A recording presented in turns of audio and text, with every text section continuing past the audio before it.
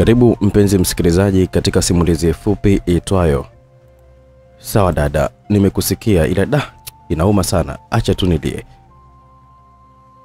Simulizi hii imetungwa na bwana Jogo Poli na kusimuliwa nami director Owen kutokea hapa Simulizi Mix. Akichome subscribe YouTube channel Simulizi Fupi by Simulizi Mix kuendelea kuburudika na simulizi nzuri kutokea hapa Simulizi Mix. Simulizi yetu inaanza hivi. Nilia mtoto wa kiume kwa hasira kweli kweli, kama vile mwanamke kafiwa na mama yake. Nilishindwa kuvumilia baada ya kutendwa vibaya sana na mke wangu, na akasafisha vitu vyote akaniachia godoro tu. Mimi yani nilikuwa nimekaa tu juu ya godoro langu hivi, ndipo dada yangu Salma, si ndugu wa damu moja, ni wa kabila moja tu, si unajua tena wakikutana mjini watu wa kabila moja inavyokuwa. Da Salma kaniambia, kaka Juma, hebu acha kulia. Unajua kwamba wazee nilikuwa naona kama wanakosea hivi kuwachagulia watoto zao wake au waume. Aise, kumbe alikuwa anayajua haya mapema. Kaka Juma, usilie, nyamaza. Mimi nikamwambia, dada, inauma sana tena sana yani. Mara kama amekuja rafiki yangu anaitwa Rama akaniambia kwamba vipi, mbona unalia tu, kuna nini? Ikabidi nimwambie ukweli wote Rama. Rama rafiki yangu, mwenzako nimeoa ndoa hata mwezi haujaisha, mwanamke anataka taraka. Mimi nashangaa kosa nini? Yaani nimeenda kazini narudi nikakusanya vyombo vyote. Naenda kwa mama mkwe naona yule mama ananichenjia anasema we, mke wangu kwamba hakuwa mwanaye alikuwa amemwomba tu mama wa Yari. Yaani mimi nimechoka akili, acha tu nilie. Rafiki yangu Rama kaniambia kwamba ndugu yangu, hebu acha kulia. Hao ndo wanawake wa mjini bwana. Ndoa kwao ni mtaji. Huyu hapa mkeo alikuwa kachangia watu sana kwenye ndoa zao, sasa ndo ameamua kulipiza.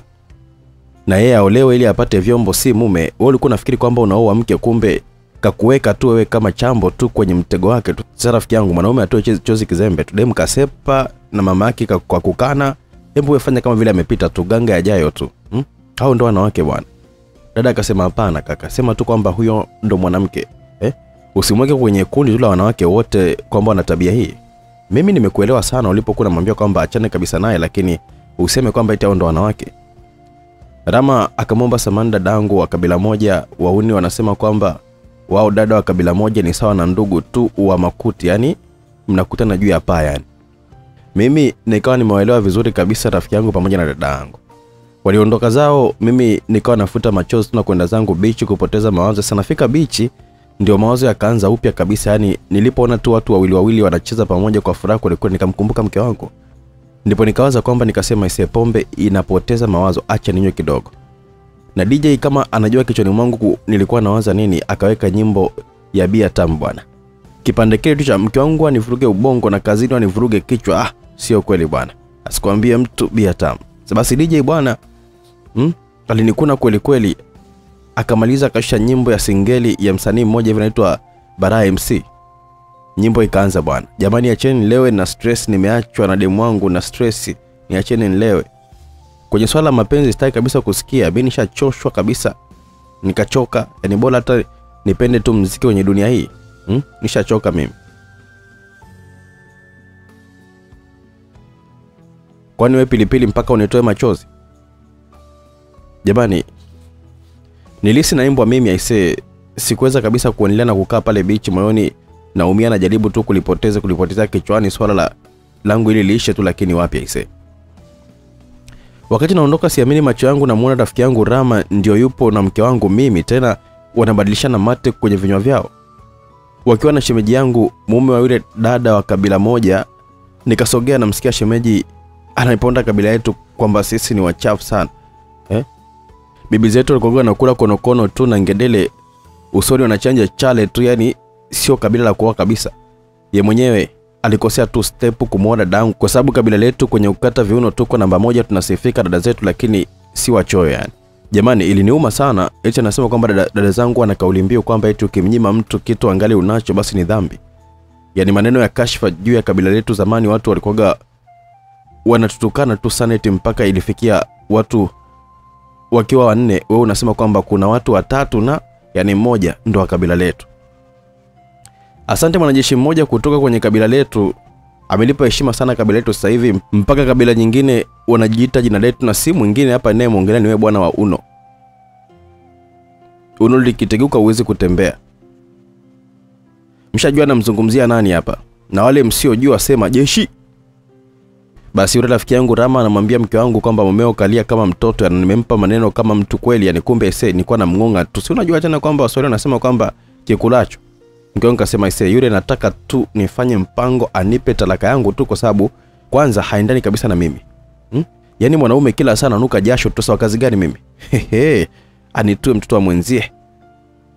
Namsikia yule shemeji anasema kwamba ise yani leo narudi na mwanamke mwingine kabisa nyumbani. Yule namfanyia visa kabisa mpaka aende kwao akaokote korosho huko. Nataka aseme kwamba nipe taraka yangu yani kabla hata hajamalizia nampa kwa sababu ni, nisha nishaandika kabisa hii hapa hii. Natembea nayo. Kweli kabisa naiona talaka ya dada yangu mimi wa kabila moja. Mimi nikaondoka zangu moyoni nikajua kabisa kwamba rafiki anaweza kuwa adui yako tu. Wa usemi upo sawa kabisa na umetimia kwa upande wa maisha yangu mimi. Nikapita ba karibu kabisa na nyumbani eh, nikazimua bia mbili pale narudi nyumbani namkuta dada yangu wa kabila moja yupo na begi lake tu kashapewa talaka yake yupo nje katika mlango wangu analia tu ananiambia kwamba kaka hebu naomba tu nilale afu kesho niende nyumbani kwetu. Mi nikamwambia ingia ndani nipo pombe. Dada kaingia ndani akataka kulala chini nikamwambia "Ah, ah, panda kwenye godoro ulale. Eh, chini hapo utaumia mbavu. Dada alipanda kwenye godoro pale kalala huku akiwa analia sana. Sasa hamna shuka la kujifunika shuka zote kaondoka kaondoka nazo yule mke wangu mimi na mvua nje inapiga upepo mkali baridi kali kwelikweli dada amejikunyata tu mimi mawazo ya shama kabisa kama mwanaume niliyetimia jamani naona kabisa kwamba namshika dada yangu na kumkumbatia bwana. Naye akanikumbatia mwoni nikakumbuka maneno ya shemeji kwamba dada zangu mimi usemi wao kumnyima mtu angali unacho ni dhambi. Je ni kweli? Au nikajaribu kupeleka mkono sehemu kuu kabisa ya utoaji wa binadamu? Jamani nikaona dada ame basi mkono ulipogusa sehemu ya kutokea mtoto alikuwa ameshikwa na usingizi mzito sana na mimi nikajiongeza tu pale nikachukua kidole changu pale nikakikunja hivi. Alafu eh, nikakilaza tu kwenye sehemu ya kutokea watoto pale kwa juu. Hapa nikawa kama vile nasugua taratibu kabisa hivi. Nia yangu ilikuwa ni, ni mshawishi tu kwa kumshikashika tu ili joto lake la mwili liweze kupanda juu. Joto likipanda tukifanya ule mchezo tumsingizie shetani maana ndo kama jinai hivi yaani kila kosa tu hakatai inaposema kwamba jinai. Embu nenda mahakamani tu utasikia kosa la jinai ndo hilo sasa. Basi dada akaamka akili yake kwamba mi nipo usingizini alafu labda nilikuwa naota tu nafanya mapenzi na mke wangu. Hakuwa na mawazo kwamba mi nilikuwa nimedhamiria yeye mwenyewe. Akanitoa mkono taratibu kabisa akausogeza pembeni na mimi nikajifanya kama kweli nipo kwenye usingizi kumbe amna lolote. Eh, gia za kumzuga tu. Nikaona ngoja tu nicheze na hisia zake hapa nikajifanya kama vile namuita mke wangu jina lake huku nikiwa nakumbatia mtu. dada kaniangalia kwa jicho la kunionea huruma hivi kama vile mapenzi yalikuwa yananitesa. moyoni nikawa nasema we ngoja tu mi lazima nichachue tu japo moja tu kwani wewe dada yangu bwana wa wa kuzaliwa kabila moja tu ukinipa hapa napata dhambi ya kuzini tu kimila flesh tu sijatembea mi na dada yangu wa damu bwana nikawaza kwamba mwanaume ukiona sehemu za siri za mwanamke unasimama yani huyu bwana anasimama japo hana miguu. Nikasema sana yeye inawezekana akiona tu ya mwanaume anasimama. Hmm? na nilio yake bwana ambayo serikali inasema kwamba isitolewe alafu kabila letu wanaivuta ile inakuwa ni kama kidole gumba hivi. Nikamvizia. Anaangalia pembeni nikatoa saidi kichwa wazi wangu pale amesimama kisawasawa yani. Alafu nimekumbatia mto tu nikawa namwangalia kwa jicho la wizi namwona yuko busy tu anasoma talaka yake tu nikasema sangoja kwanza niweke ndani kwa sababu huyo hapa kasha kuwa na mawazo ya talaka hapa hawezi kabisa kuwa na hisia hapa.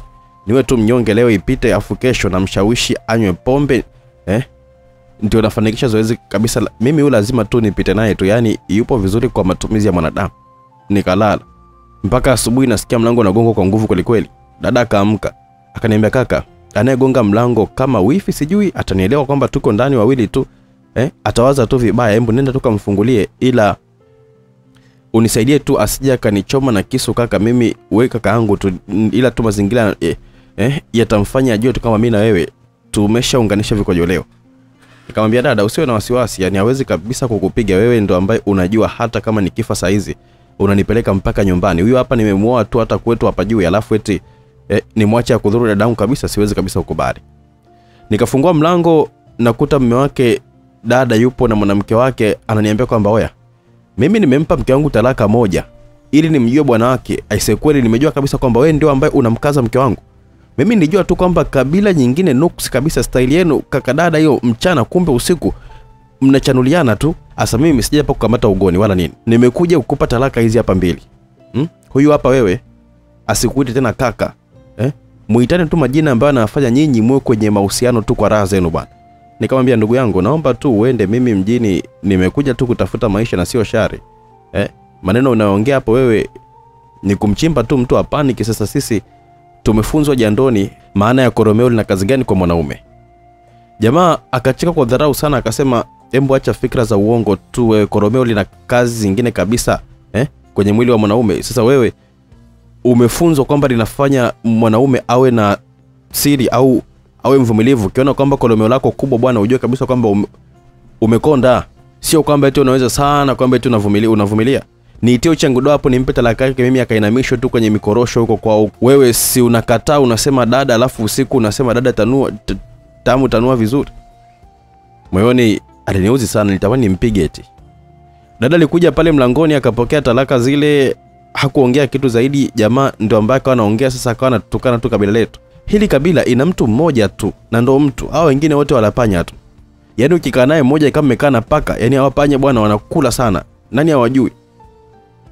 kama wanakula panya hawa zam, zamani kuna nyimbo tulikuwa tunaimba kabisa kwamba baba kaleta panya eh? maneno yakanipandisha asila sana moyoni nataka nikampige tu maana ise suala la kutukana tabia sio sio kitu kizuri alafu eti yeye katokea tu karibu na mpaka wa uganda huko mbona wao baadhi ya wadada zao wale wasiojitambua kabisa eh? wanatukanisha tu kabila lao na mi nikasema kwamba kama anavyosema yeye si ugomvi ambao hayati baba wa taifa alikataa kabisa mambo ya, kuleta ukabila kama. Dada akaniambia kaka, wewe usimjibu, mwache tu aongee, alafu ataondoka mwenyewe. Namsikia anasema kabila hili bwana, narudia tena, ina mtu mmoja tu na mtu mwenyewe ni jeshi au tembo au wengine hao wala panya tu, mwanaume mmoja tu jeshi. Mimi nikazidi kukasilika tu, maana ananitukana mimi ni mwanamke. Au nikamwambia dada, unasikia tu silo, hebu niache basi nikamtandike kidogo ili ajue kwamba mimi ni mwanaume au nani. Dada kaniambia hebu acha tu kuwa na hasira zisizokuwa na faida. Je, kasema kwamba mwanaume ni mmoja tu basi wao mwanamke ni mmoja tu, yule ambaye kanichambua kama karanga. Sasa hilo sio la wewe kuweza kukasilika, huyo mchukulie tu kama chizi. Akaondoka. Mimi nikamwambia dada, hebu twende tukale chakula alafu tutulie tu tujue kwamba kesho tunafanyaje. Kweli bwana, tukaenda kula tukarudi. Dada kaniambia kwamba kaka, mimi nitalala usiku wa leo tu, alafu kesho narudi kijini kwetu. Moyoni nikajiongeza tu kwamba huyu ili asiende kwanza mpaka nipite. Nifanyeje sasa? Nikapata jibu, dada, usiende kesho, uh, utaenda Jumatano ili nikupe pesa upeleke pale kwetu. Si unajua kabisa kwamba sasa hivi eh, tozo ni kitu cha sio kitu cha masiara. Dada akanijibu kwamba alala jana, alikesha hakulala kabisa vizuri, alala mpaka jioni. Sasa nikamwambia dada, leo unaweza kabisa usipate usingizi na kushauri tu kwamba tunywe pombe tupoteze mawazo ili tulale usingizi mzuri. Sawa dadangu? Sawa kaka, mimi sijawahi kabisa kunywa bia, ila tu leo nitakunywa tu ili nitoe haya mawazo, maana isen eh, nahisi kabisa anaweza kunipandisha pressure bure. Moyoni nikasema wewe, hatua ya kwanza hiyo nishamaliza, bado hiyo ya pili lazima sasa Saidi kichwa wazi leo afanye yake. Nikakumbuka kwamba nyimbo ya jeshi leo nina hamu ya kuto kutoka na wewe, mwana bwana. Sasa remix yake pale kutoka na wewe, sasa hebu toa, alafu weka, utamalizia leo lazima nicheze nyavu za huyu dada bwana. Kweli ise, nilienda kununua bia tukanywa tukalewa. Dada naona analembua tu macho, ananiambia kwamba kaka, naona kizunguzungu. Mimi nikasema utaona na kichina china leo tu, ngoja nitakapokuwa nimekupelekea moto. Nikamwambia hebu punguza nguo alafu ulale, utakuwa sawa. Dada namuona na cheka cheka tu, anasema pombe sio chai aise. Sikutaka kumvua blauzi, sina shida mimi na maziwa, mimi shida yangu nani tu kule. Mimi huku kwenye sukari ya dunia huku kulipo zidi asali huku. Nikamvua dada sketi mpaka nguo ya ndani kabisa, yani nikazikusanyia zote kwa pamoja. Kwa nini toe moja moja wakati uwezo wa kuzitoa zote ninao bwana? Na hii pombe ikimtoka wewe ndio unaanza kabisa kushika kizibo cha cha asali, anakuambia kaka, sio vizuri ujilaumu kwenye moyo wako. Sasa toa zote bwana. Dada msafi, yani kama kwa mtoto mdogo vile, hakuna nywele hata moja, yani alafu imekaa vizuri, yani jamani, nyekundu eh, nimemtanua miguu hapo sasa. Moyoni kaa nasema ise, huyu atakuwa ni mkavu sana, ngoja eh, nikachukue mafuta nimpake hivi inisaidie kuweza ku, eh, kusafirisha Saidi kichwa wazi vizuri kabisa, safari yake isikwame kwame. Jamani, Nilichukua kopo la mafuta nikamtoa Saidi kichwa wazi, nikampakaza mafuta huku nikiwa naangalia pale kuliko kuwa kuna wekundu wekundu. Mimi huku hoi hmm? Namaliza kupaka mafuta kwenye Saidi kichwa wazi, nimshindilie mpini mimi yani ah.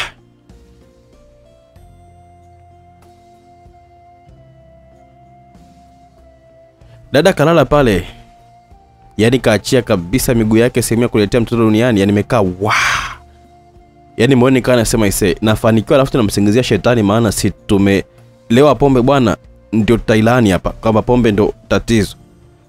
Basi nishamaliza kupaka mafuta vizuri kabisa, nime nimezungusha vizuri kabisa kila kona ya bichwa langu, lile bichwa lisiloota nywele, lina mdomo tu haliongei eh, ila linasimama halina hata miguu. Sasa nilikuwa nimegeukia ukutani, ili nataka tugeuka sasa nipeleke moto, na shangaa tu panya sijui katokea wapi aise. Kampanda yule dada, dada naye akashtuka ise kwa mshangao, akajikuta yupo tu uchi, alafu pombe ikamtoka hapo hapo aise. Anaangalia mimi, anaona kabisa kwamba nimegeukia ukutani, akahisi kwamba nimemuheshimu tu sehemu kubwa. Pombe ndio ambayo ilimfanya yeye avue tu nguo mwenyewe akavaa, alafu akaniomba msamaha. Kaka, nisamee sana, naomba tu nisamee, hizi pombe kweli sio nzuri, na ndio maana eh, nimeandikiwa kwamba kunywa kistaarabu. Kaka, naomba tu unisamee sana, naomba tu tusinywe tena pombe. Mimi moyoni nasema kwamba huyu panya huyu, yani nikampa tusi moja kubwa hatari, haliandikiki wala lisimliki, maana ise ameniuzi kweli kweli. Kwa nini sasa amekuja kuniharibia ishu yangu mimi? Da ise, si angesubiri tu mimi nipate tu hata moja, alafu yeye ndo apite basi. Nikaliweka sasa kichwa wazi langu mimi kwenye suruali yangu, alafu kimoni nimeumia sana ise. Nikamuuliza, vipi dada, umevaa? Mwenzako nimegeukia huku muda mrefu sana. Dada kasema nishavaa kaka tu. Da se nisamee sana. Mimi nikageuka kama mstaarabu kweli, kumbe ndo nimekosa mtego wangu hapo. Nikaamini usemi wa Swahili unasema kwamba unaosema mkamia maji hata hayanywagi. Nikalala, dada ninaye kalala. Sasa mimi ile mifuta ikaanza kabisa kuniwasha kwenye hiki hapa kichwa kisichoota nywele. Nikaamka nikachukua maji nikaenda zangu kule chooni kunawa. Nafika chooni naona mlango wa chooni umefungwa, najiuliza "Ah, nani saa hizi saa sita hivi yupo chooni, halafu kuna kelele za maji. Nikaisa najisaidia haja kubwa kwamba akimaliza atanawa niingie mimi nisafishe kichwa changu. Kumbe chooni kuna rafiki yangu Rama bwana, anampelekea moto mke wa mtu mwingine kabisa nyumba ile ile. Yani huyu Rama bwana anajifanya kwamba kichwa chake kisichoota nywele kipite kila sehemu yani. Nasikia miguno huko chooni, ndipo nikachukua ngazi na kupanda juu, nikamwona yule mwanamke wa chumba cha tatu kutoka changu pale anapelekewa moto. Kashika ndoo, alafu Rama yupo nyuma yake. Nikasema ka, yani huyu dada mume wake tu si dereva wa guta huyo. Na madereva wa guta bwana wanasifika sana kwa kufikisha wanawake kileleni. Imekuwaje tena? Basi wakati naangalia ile mechi, mimi mzuka ikaja, kichwangu kikasimama vizuri kabisa. Nikaanza kukichezea na yale mafuta niliyokuwa nimepaka, yani ase, nikawa nasikia raha sana. Yani wale vijana wapiga nyeto wanajua kabisa hapa namaanisha nini. Nikaanza kupiga nyeto, yale mafuta yakawa msaada mkubwa sana kwangu kufanikisha zoezi langu. Sikujuta kupanda juu, maana nilipiga bao moja la nguvu hatari. Nilisikia yule mwanamke anasema kwamba Rama, nakupenda sababu tu unajua sana ninachopenda mimi. Ya, nimeanza kufanyiwa mchezo huu na bosi wangu wa Kihindi, yani nimezoea kweli. Mume wangu hawezi kwa sababu nahisi ndoa inambana sana. Namsikia Rama anasema wewe mpe tu alipopatolea mahali huku kwangu huku. Moyoni nilijua tu kwamba huyo binti ni mweu kabisa, anafanywa kinyume na maumbile. Nilimchukia sana.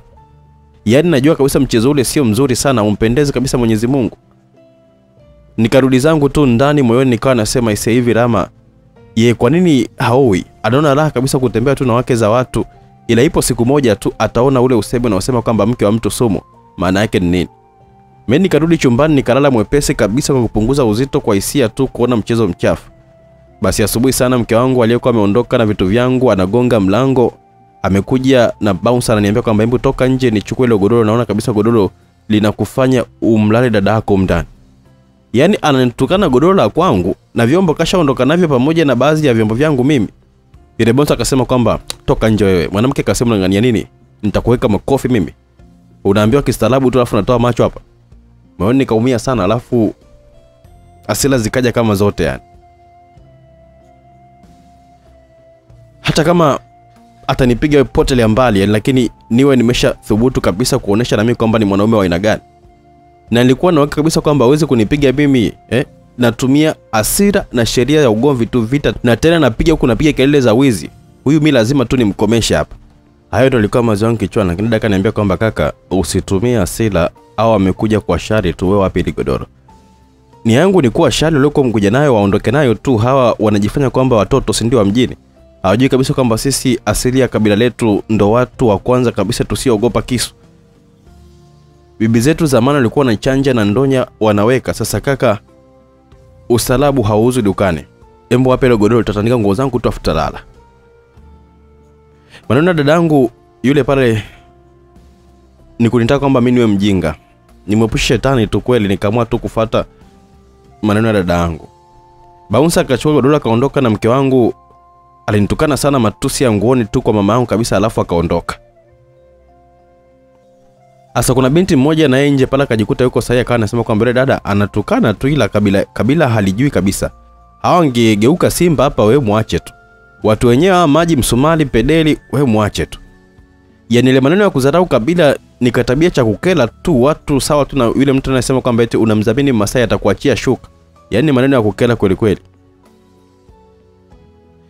Mimi nikakaa na dada, dada kaniambia kwamba hebu nenda kazini tu, fanya tu kama vile hakuna kilichotokea, acha tu mawazo ya nyumbani pale kwenye mlango wa kazini. Ukiingia tu kazini, uwe kabisa na mawazo ya kazini tu, kwa sababu nakwambia hivyo, kuna mtu mmoja anahamisha hasira zake tu kwenye kazi, mwisho wa siku anaharibu kazi yake kwa sababu tu ya kushindwa kuzuia hasira. Binadamu ni watu wa ajabu sana, wakikutenda ndo unapata jibu kwa nini Nuhu alipakia wanyama kwenye safina kaacha binadamu, kwa sababu tu mambo kama haya ukishindwa kabisa kuyavumilia eh? Yanakuingiza kubaya kabisa kaka. Wewe nenda kazini usiwe usiwaze kabisa nyumbani sawa kakangwe, kakangu mpendwa eh. Maneno ya dada isee yakawa ananipa faraja kweli kweli kwenye moyo wangu mimi nikamwambia sawa dada. Nimekusikia tu na nitafanya hivyo. Nikaenda kazini kweli nikafanya vile vile alivyokuwa ameniambia dada. Na siku hiyo kumbe bosi naye alikuwa kavurugwa kachanganywa na mke wake huko afukaleta asila zake kazini. Acha afukuze watu pasipokuwa na sababu ya msingi. Ila akafurahishwa na ufanyaji wangu kazi tu akaniita ofisini kwake hapo ndipo nikaona usemi wa Swahili unaosema kwamba eh, unazima jamvi msibani, unafanya kazi. Maana bosi aniomba ushauri juu ya ndoa yake tu, eti nimsaidie kimawazo. Akaniambia kwamba mke wangu aisee kaondoka na watoto wangu, kisa tu eti sijui, yani eti ananifanyia tu vituko, sielewi kwa sababu eti yani mpaka kanivuruga kabisa ubongo wangu mimi. Nikakumbuka nyimbo moja ya msanii anaitwa Shebilav, unaitwa mapenzi. Basi yani kuna kipande kinasema kwamba unasema nikupe ushauri unaumizwa wakati mimi mwenyewe hapa mapenzi yananiumiza? Vipi wewe? Eh? usiongelee kuhusu penzi unanivuruga. Kama vipi wewe tulia tupate moja moja tu tutoe mawazo haya hapa. Ah. basi mbona nikasema isee hii nyimbo inanihusu kabisa kwenye tukio hili. La ghafla tu kwenye maisha yangu. Nikamwambia bosi si peke yako. Hata mimi alinikuta na na naendelea nayo. Nikamwambia yote mpaka mkasa wa asubuhi ya leo. Akaniuliza isee umewezaje kabisa kufanya kazi ukiwa na hasira tu kama hizo kitendo ulichofanyia binadamu yoyote lazima tu akasirike. Wewe unawezaje kabisa kuzuia hasira hizo na mtu asijue kabisa kwamba wewe leo haupo sawa? Nikamwambia dadangu wa kabila moja, na yeye yamemkuta, nikamweleza yote na mpaka alipokuwa amenipa njia ya kuweza kuzuia hasira zangu. Bosi akaniambia, sio mwanamke, ni mwanamke mwenye akili sana, na kushauri kwamba muoe eh, sio mwanamke wa kumwacha akaolewa na mwanaume mwingine. Huyo ni kichwa kabisa, ila kwa sasa hivi usimwambie swala la ndoa. Sasa hivi unatakiwa tu eh, wewe uhame pale uhamie mtaa mwingine kabisa mbali kabisa na pale. Hmm? chumba chukua kimoja tu. Mwanaume hashindwi akili ya ziada chumbani ili tu umpate ila usimbake tu sawa? Mimi nikasema ise kama najua akili zangu nilivyokuwa nafikiria juu ya yule dada nikamwambia shida pesa shida pesa ya kuhama sina. Ah, bosi na mimi bwana tukatoka tukaenda kupanga chumba kimoja kanilipia kodi miaka miwili yani chumba cha shilingi elfu hamsini katoa milioni moja na laki mbili akanunulia kitanda kikubwa na godoro lake na jiko kabisa.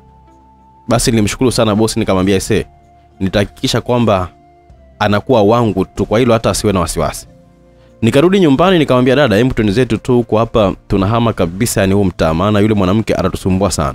Dada akasema eh afadhali yani bora hata ubadilishe upepo tu kakaangu sasa huko pesa ya kupanga umetoa wapi? Mwanaume uongo kama tumezaliwa nao bwana. Maana uwezi kabisa kusema eti umesaidiwa nikajitumua na neno moja tu. Nilikuwa nacheza mchezo hivi. Nimeomba kijumbe jina hapa anisaidie tu lisogee kijumbe kaniele nimwelewa sana ndo hivi mambo yanaenda. Dada akasema sasa kaka kama ushapata pesa sasa si ukanikatie tu tiketi niondoke tu zangu kijijini. Unajua maneno anayosema kwamba mimi na wewe ni mtu na mpenzi wake si mazuri kabisa na tunatukanisha tu kabila letu eti. Nikamwambia dada hebu achana na maneno ya binadamu. Binadamu ameumba kabisa kusema hata iweje. Wanamsema mungu itakuwa wewe hujawai kusikia wanadamu wanasema kwamba wenzetu mungu kawajali akawapa utajiri au neno jingine la kusema kwamba aliyekupa wendo kaninyima ka, ka, kaninyima mimi? Kwani ukija kwenye tafsiri ya kawaida hapa ni binadamu wanasema kwamba mungu kwa nini yeye ka, kamnyima? Sasa wewe achana kabisa na maneno ya binadamu. Sawa dada mpendwa. Na mimi nikamalizia na neno mpendwa pale. Makusudi kabisa na nia yangu mimi nyewe tulieni mtaona. Basi dada akakubali wazo langu na kuacha kabisa waongee tukaingia geto jipya. Kumbe bwana kule ule mke wangu alijua kwamba nia yake aje tu kuchukua na nguo zangu zote alikuja na baunsa wake. Nia mimi kesho nitoke kabisa na kitenge cha dada niende nacho kazini. Mwenye nyumba akamwambia washaama hapa na chumba hicho hapo nishapangisha. Akaondoka zake ni yake imegonga mwamba. Upande wangu mi nikasema ise leo nazindua kitanda kwa mapenzi lazima tu nijitoe ufahamu kitandani leo. Dada akapanda kitandani kalala na mi nikalala. Mimi nikamvizia usiku sana nimcheze kifuani kwanza yani huyo hapa nitampata tu. Siwezi kabisa kulala naye mpaka asubuhi. Au nimwambie tu ukweli nawaza na wazua pale na saidi kichwa wazi wangu bwana kasha, kasha amsha yake huko. Nikaona bora nimwambie tu kuliko kumbaka hapa. Nikaanza kumwamsha dada dada dada hamki usingizi mzito kalala. Kila nikimtikisa wapi? Kumbe bwana litukio la yeye kuwa kama alivyozaliwa lilimfanya akose kabisa usingizi na mchana hajalala akiunganisha na mawazo usingizi mzito kwa umemchukua moyoni nikasema sasa hapa ni kumvua tu nguo ya ndani nianze naye mambo yangu tu. Naye huyu bwana anazo hisia ni mtu tu hmm? kweli nikamvua nguo ya ndani. Nikamtanua miguu vizuri kabisa taa nimezima akili yangu ishawaza tendo nikaanza tu kuvua suruali yangu halafu eh, nilipomaliza tu kuvua nikashika hichi hapa kichwa kisichoota nywele nia kwamba nimbake tu nimsingizie shetani. Basi nikalengesha kichwa changu kwenye mlango mkuu wa kuja duniani nia niingize sasa. Hapa ise nilipaka mate kwenye kichwa changu tu kisichoota nywele. Nikawa nampelekea sasa yani ase e, nishagusha kabisa nyama kwa nyama sa ndio nataka kukandamiza ndani. Kweli nilikuwa nimelengesha sasa katikati kabisa nishagusha kabisa nyama kwa nyama ili nataka tu kukandamiza ndani mlango wangu unagonga ngongongongo halafu sauti ya bosi wangu I say nikasitisha zoezi nikavaa fasta kwenda kumsikiliza anasemaje bosi wangu mbona usiku sana nikatoka nje na naomba unisindikize sasa hivi huko aisee. Namuona kabisa na, na jamaa wawili hivi hata siwajui kabisa wapo wapo kwenye gari. Ikabidi sasa nije sasa nimfunike tu shuka vizuri. Dada- moyo nikasema ise huyu hapa ana usingizi mzito sana ise nikamvalisha nguo ndani hata kushtuka nikafunga mlango nikaondoka zangu moyoni nikaa nasema aise kwa usingizi ule jambo langu litafanikiwa tu. Tunaenda hata sijui wapi tunaenda. Kumbe bwana tunaenda sehemu moja hivi kunaitwa mikasa wale wenyeji wa dar es salaam watakuwa wanapajua. Tunafika pale bwana tunamwona rafiki rafiki yangu rama kampakata mke wa bosi wangu mke wa bosi wangu kavaa sketi fupi alafu ndani hajavaa kitu kamkalia rama kwenye yani wameunganisha vikojoleo tayari. Moyoni nikasema ise huyu rama ana pepo gani huyu yeye? Yaani wake za watu tu. Sasa nikadhani kwamba bosi atakuwa ametuchukia nini yake kwamba tumpige tu rama. Mimi nikasema ise leo nitampa kipigo cha paka mwizi. Kwanza nina hasira naye tu na ndio aliyetembea na mke wangu mimi nikawa nasikiliza bosi aseme kwamba pigeni nianze mimi kumtandika yani simpendi kweli kabisa kutoka moyoni. Nashangaa bosi anafika pale anatuambia jamani mmemwona shemeji yenu hapa? Nimemfumania na nimetimiza sheria ya dini kuwe na mashahidi kwenye fumanizi lako na ninyi ndio mashahidi kabisa nampa taraka yake hii hapa huyu si mke wangu tena. Namwona rama anatemeka tu na bausa yule aliyekuwa amenichukulia godoro langu kumbe ndio mlinzi wa mikasa hajui kinachoendelea anakuja kusema lugha ya kujivunia mwili wake. Anasema nyewe washenzi mbona mnaleta kiwingu tu kwenye biashara yetu hapa? Kumbe wale washikaji wawili wa bosi ni wajeda bwana. Wewe wewe wewe. Kilichomkuta bouncer akili limkaa sawa. Alichukuliwa na wale wanajeshi wawili akataka kutumia mwili wake akashangaa tu kuna wanajeshi wengine walikuwa wanakula tu kitu roho inapenda pale wanajuana. Wakaja watatu jumla wanajeshi walikuwa watano. Wakampeleka jeshini huko kilichomkuta akaama kabisa mji. Sijui alimpa adhabu gani huko atakuwa alimpakwa wawili kwenye washeli huyu. Rama akasusiwa mke. Sasa akaambiwa kwamba yule mwanamke akarudisha watoto wa bosi. Basi harakati zote hizo zilifanyika tu usiku mpaka asubuhi tunamaliza. Bosi akaniambia kwamba eh, usiingie kazini wewe nenda kalale. Nikarudi nyumbani kwangu nikafungua tu mlango. Dada nilimkuta akiwa kaamka akaniuliza kwamba ulienda wapi? So lile see lilinipa raha sana moyoni maana hmm? kama la kawivuwivu fulani hivi yani eh? Na sikwambie mtu bwana wivu sio kero unaongeza kachumbali kwenye mapenzi. Sio ule wa kukera bwana. Nilimwambia yote alikuwa amejili usiku ule kasolo ya yeye kwamba nilikuwa nimemvua nguo ya ndani na kumvalisha tena. Akaniambia da sio huyo rafiki yako rama se hana maisha marefu. Kama hata acha tabia yake nasema kwamba sisemi mengi tutaona tu. Na ata, ataenda kwa mtu hana imani kama aliyokuwa nayo bosi wako. Watamfanyia kitu kibaya sana kwa mwanaume. Si mwanaume hata tu kwa mwanamke ila yeye atajua tu kwamba dunia hii ni nini? Na kama hawajamfanya hivyo basi wataweza kabisa kumpa hata sumu tu ya kiswahili. Mimi nikamwambia ukweli kwamba mke mke wa mtu inauma kweli. Mimi nikawa namwangalia katoka kuamka yani mzuri macho yangu yanamtamani kimapenzi yeye ananichukulia mi kama kaka tu. Sasa nasema kimoyoni leo leo sasa lazima tu nifanikiwe zoezi langu. Huyu siwezi nikamtamani mwishoni eh, nikimzoea nitakuwa nishalibika kiume hapa maana hakuna mwanaume anayeweza kulala na mwanamke sio ndugu yake au hakuna tatizo lolote lile. Akakubali kulala naye mpaka asubuhi mm, ukiona hivyo mkeo na ushamzoea. Ila mpya mm -mm, au wapi? Namsikia anasema kwamba kaka hii nyumba ina mambo ya kishirikina. Nikashtuka sana. Kusikia hivyo nikamuuliza wewe umejuaje dada? Akaniambia kaka jana mimi nimelala nguo yangu ya ndani sikuigeuza. Naamka naona kabisa nguo yangu imegeuzwa kabisa. Eh? huoni kwamba hii nyumba ina mambo ya kishirikina nikajifanya kama sijui mi ndo ambaye nilikuwa nimemvalisha fasta maana ise nimekosea kumvalisha sasa yeye. Kwa sababu mawazo yake tu yamemtuma huko na mimi nikampeleka huko huko. Nikamwambia itakuwa. Sadada ujue kabisa kwamba nikwambie kitu kwamba dawa ya ushirikina hmm? ungelikuwa ni muuni ningekwambia kwamba uvute bangi. Lakini wewe sio muuni dadangu. Unatakiwa unywe konyagi usiku. Wachawi hawabebi mtu aliyelewa, ndio maana mlevi analala popote pale. Kuwe na zindiko kusio na zindiko mlevi analala akaniambia kaka mimi naomba kabisa unijibu tu. Lini sasa mimi naondoka kijijini basi mm, mkope hata bosi wako tu pesa ili nikawape hao wazazi. Moyoni nikasema ha huyu hapa kapiga chenga nalomwambia mimi. Nikamwambia usijali dada nitafanya tu hivyo ila leo inabidi tu tunywe konyaki. Dada akakubali. Kumbe moyoni akasema kwamba atavaa suruali ili hata kama akilewa ashindwe kabisa kuvua ili wachawi wasimbebe alipokubali tu nikachenji gia angani nikaleta double kick halafu nikachanganya na keivanti pembeni pale zote nikampa kanywa na mi nikanywa. Wewe wewe. Mziki wa keivanti sio mchezo.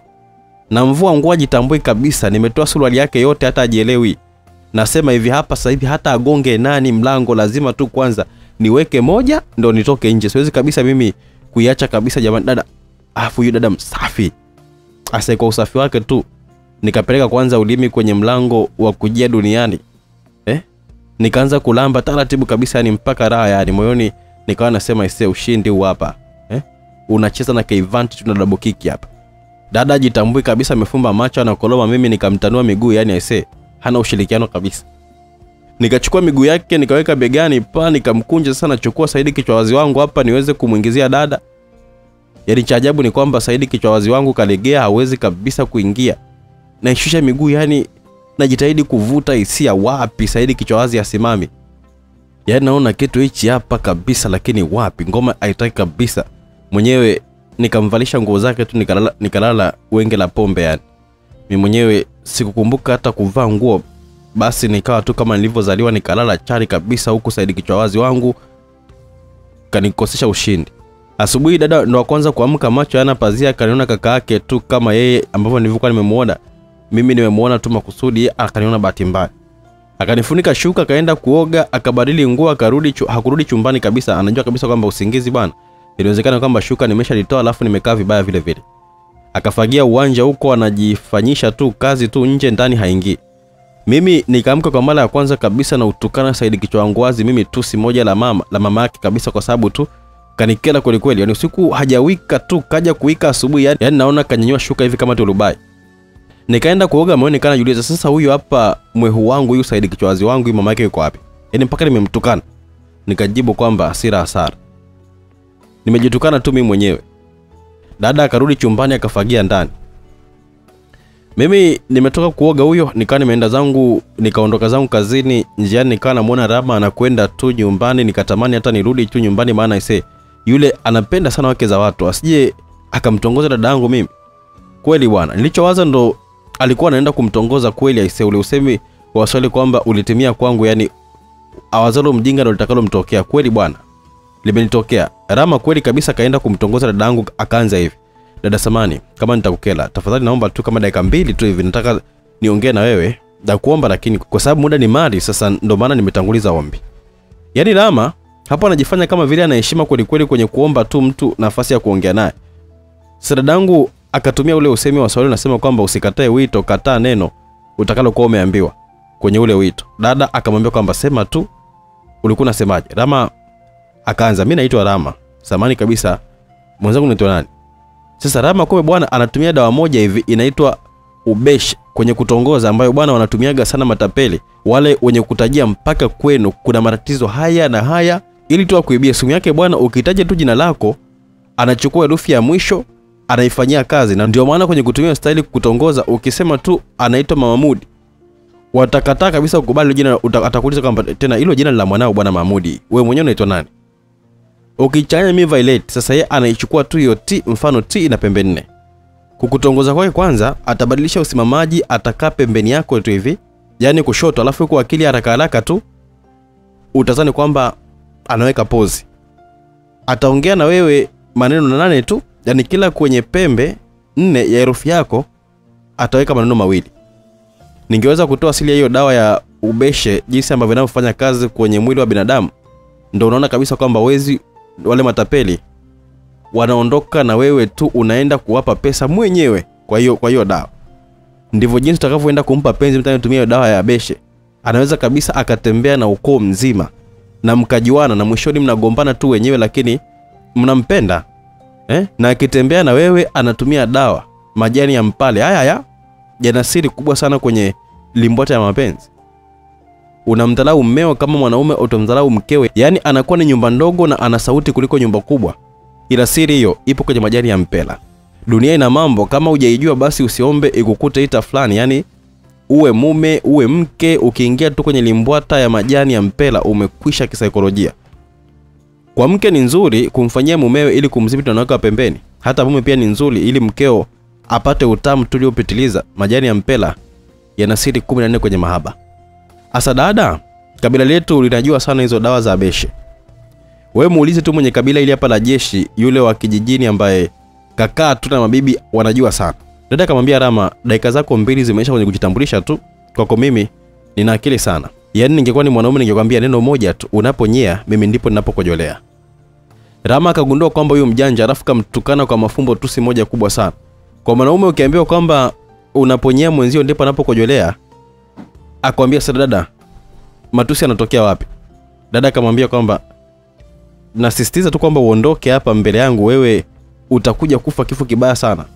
Hiyo abesho unayoitumia unajikuta kwamba ndo kidume. Kuna siku eh, utaichukia tu. Waulize, waulize wenzio wanaitumiaje? Sio matumizi yako wewe japo yote si mazuri ila lako wewe ni baya zaidi. Kwani sasa utongoze wake za watu tu?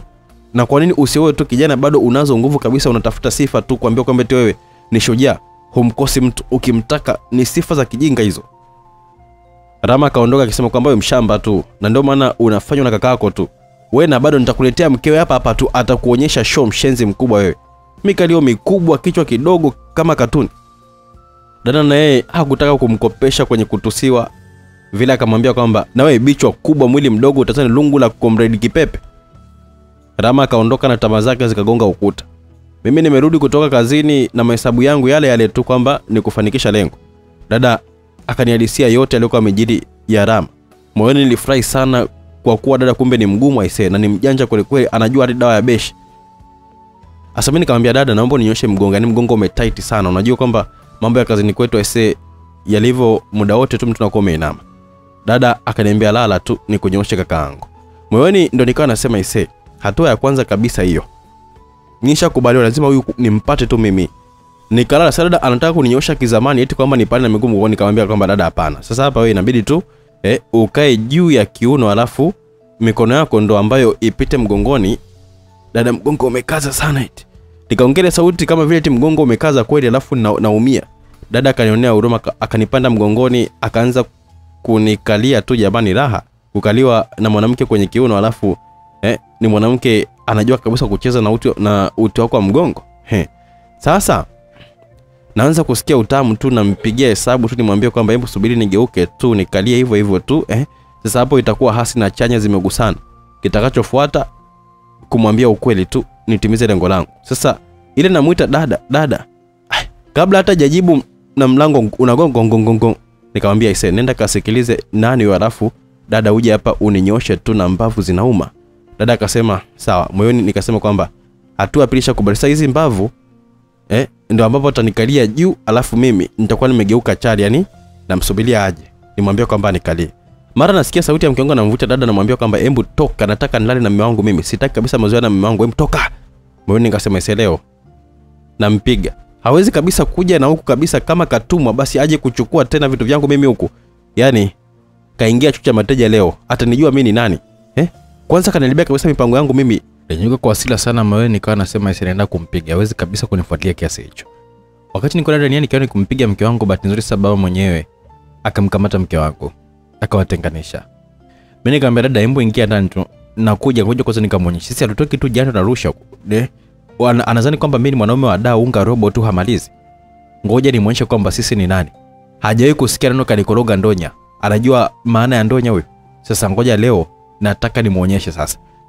Dada nashangaa kanipiga kibao alafu ananiambia kwamba kaka, hebu nipige mimi sio yule sawa. Nimeukataza kabisa mara ngapi kuhusu hasira wewe? Kwenye mamzi yako nipige hizo asila ziishe kwanza eh? Nikamwambia dada basi simpigi. Ngoja tu nimsikilize mwenye nyumba hapa. E, kwanza anasemaje maana ise kamfungia ndani ule binti. Akaniambia sawa. Nenda kamsikilize mwenye nyumba ila haya yote kaleta rafiki yako Yorama. Nikamwambia nimejua hilo wala usijali kabisa dada, acha tu mimi niongee na baba mwenye nyumba hapa. Nikaenda kuongea na mwenye nyumba, akaniuliza historia ya hao wanawake wote, nikamweleza full story yani. Baba nyumba akacheka sana, akaniambia kwa mwanangu, wewe ni mdogo, upo kwenye mtihani mkubwa sana. Unajua kwamba kwa nini sheria ya dini nasema kwamba mwanamke akipewa taraka lazima akae eda eh, kwa sababu kwenye eda kuna mambo ambayo yanayoangaliwa kwanza. Inawezekana kwamba ukapatikana msamaha tu, pili mimba. Sasa yule binti ni mjamzito. Mimi nilivyokuwa nimewatenganisha tu pale, nimejua kabisa kwamba yule ni mjamzito na mkeo pia ni mjamzito. Wewe unaweza ukawa na mashaka na ujauzito wako, lakini wewe kwa kauli yako tu, yule pale ni dada yako wa kabila moja, hujawahi kabisa kugusa sehemu ya kupata ujauzito. Sasa nadhani kwamba hautakuwa na shaka juu ya ujauzito ule ni wa mumewe. Je, niambie, unafanyaje? Unalea ujauzito usio wako, unaacha wako, au unafanyaje? Hebu niambie. Swali likawa ni zito sana mpaka kiu ya maji nikapata, maana ise hapo ni mtihani, na dada hajui kama anayo mimba au anajua, ndo maana anang'ania kabisa kwamba aondoke. Je, yule mumewe anaweza amini kabisa kama kweli mimi sijawahi ku, kudonyoa? Je, kweli mimba ya mke wangu ni yangu, sio Rama? Maana sio nimesikia tu kwamba wanatembea, nimeona kabisa kwa macho yangu mpaka kiu ya maji kabisa nikapata juu ya kigaziko hicho cha swali gumu sana juu yangu. Nikamwambia mzee, wewe umeona mengi, hebu naomba tu unisaidie hili tatizo mimi nafanyaje? Mzee akaniambia, kama huyu ni dada yako, naomba umpangie chumba chake? Ili ilete maana halisi kabisa yuko kama dada. Alafu kuhusu mkeo eh? Waswahili wanasema kwamba ugomvi wa mke na mume ni mtihani mzito sana. Huu kaa tu mwenyewe chini, fanya hesabu yako tu, mara ya mwisho ilikuwa lini kutana kimwili, alafu hebu ipige hesabu zako hapo, utajipa tu jibu mwenyewe nini ufanye. Nikamwambia mzee, ndo yenyewe mke wangu alinidanganya kwamba eti mama yake mzazi, kumbe sio mama yake mzazi, ni muongo tu. Mzee akasema sasa, hiyo akili sina uwezo wa kuanza kuchambua, sababu hapo panataka darasa kidogo tu upande wa dini, na kama ni kweli kabisa yule si mama yake, da, itakuwaje sijui, lakini kwenye dini hakuna swali lililokosa jibu. Unaweza kabisa kumtafuta kiongozi wa dini akakwambia hapo unafanyaje, maana si mchezo. Nikaambia mzee, saizi ni usiku, mi kesho naenda tu kazini, naomba tu nikalale ili kesho nifikirie ili swala kwa kina zaidi nafanyaje. Mzee akaniambia sawa. Sasa hili swala sio la kuweza kukurupuka kwenye maamuzi, lazima tu ufikirie kwa kina, kwa sababu ukikurupuka tu unaweza ukasababisha vifo vya viumbe ambavyo vipo tumboni. Nasema hivyo mimi najua kabisa vizuri wanawake wasije waka, wakatoa hizi mimba zao tu, chanzo utakuwa ni wewe. Saa hizi nitakwambia kwamba mkeo aondoke arudi alipokuwepo, sitaki kabisa shari nyumbani kwangu, sawa? Nikamwambia sawa. Mzee kule akaenda kumwambia vile mke wangu, na mke wangu kumbe vitu alikuwa amevipeleka kwenye geto la Rama, na Rama alijua kabisa kwamba mke wangu harudi. Kaagiza mwanamke mmoja hivi wa nyumba ile ile ambayo tulikuwa tumepanga. Huyo mwanamke si mke wa mtu, ila ni wale mguu kutani, pesa mkononi, yaani wale wanaotumia mwili wao vibaya. si tulijua kazi yake hiyo siku alipogombana na mlevi mmoja hivi pale pale nyumbani. Ugomvi wenyewe mkorefu alikuwa ni mlevi. Alimwambia yule binti kwamba ukienda kukojoa kojoa taratibu tu, unakojoa tu kwa nguvu. Umenistua mimi, nikazani kabisa maji yanatoka. Nimetoka na ndoo zangu hapa nje, kumbe wewe unakojoa chooni. Neno lilomchoma sana yule dada ndio chanzo kabisa cha matusi na kutolea na siri hizo, na sisi tukajua kwamba yule ni chake mkononi, mguu kutani. Mke wangu akagonga mlango, Rama alikuwa anaonga choo cha nje. Yule mwanamke akafungua mlango, wanakutana uso kwa uso. Yule mwanamke yupo kwenye kanga moko hivi, haijulikani kashamaliza au anataka kuanza. Mke wangu hasira kama zote, kitanda chake, godoro lake, shuka zake eh, alitunzwa siku ya harusi yetu. Sasa akamshika yule mwanamke ile kanga, na yule mwanamke akamshika wiki. Maana bwana.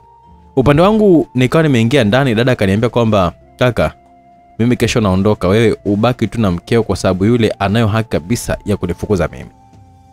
Wewe ni mumeo wa ndoa kabisa, mimi dada yako tu, embo acha mimi niende tu, ila kaka usiwe na hasira sawa. Mimi nikasema kimoyoni, hapa nianze mtego wangu ili nimpate tu nifanye naye tu mapenzi kwanza.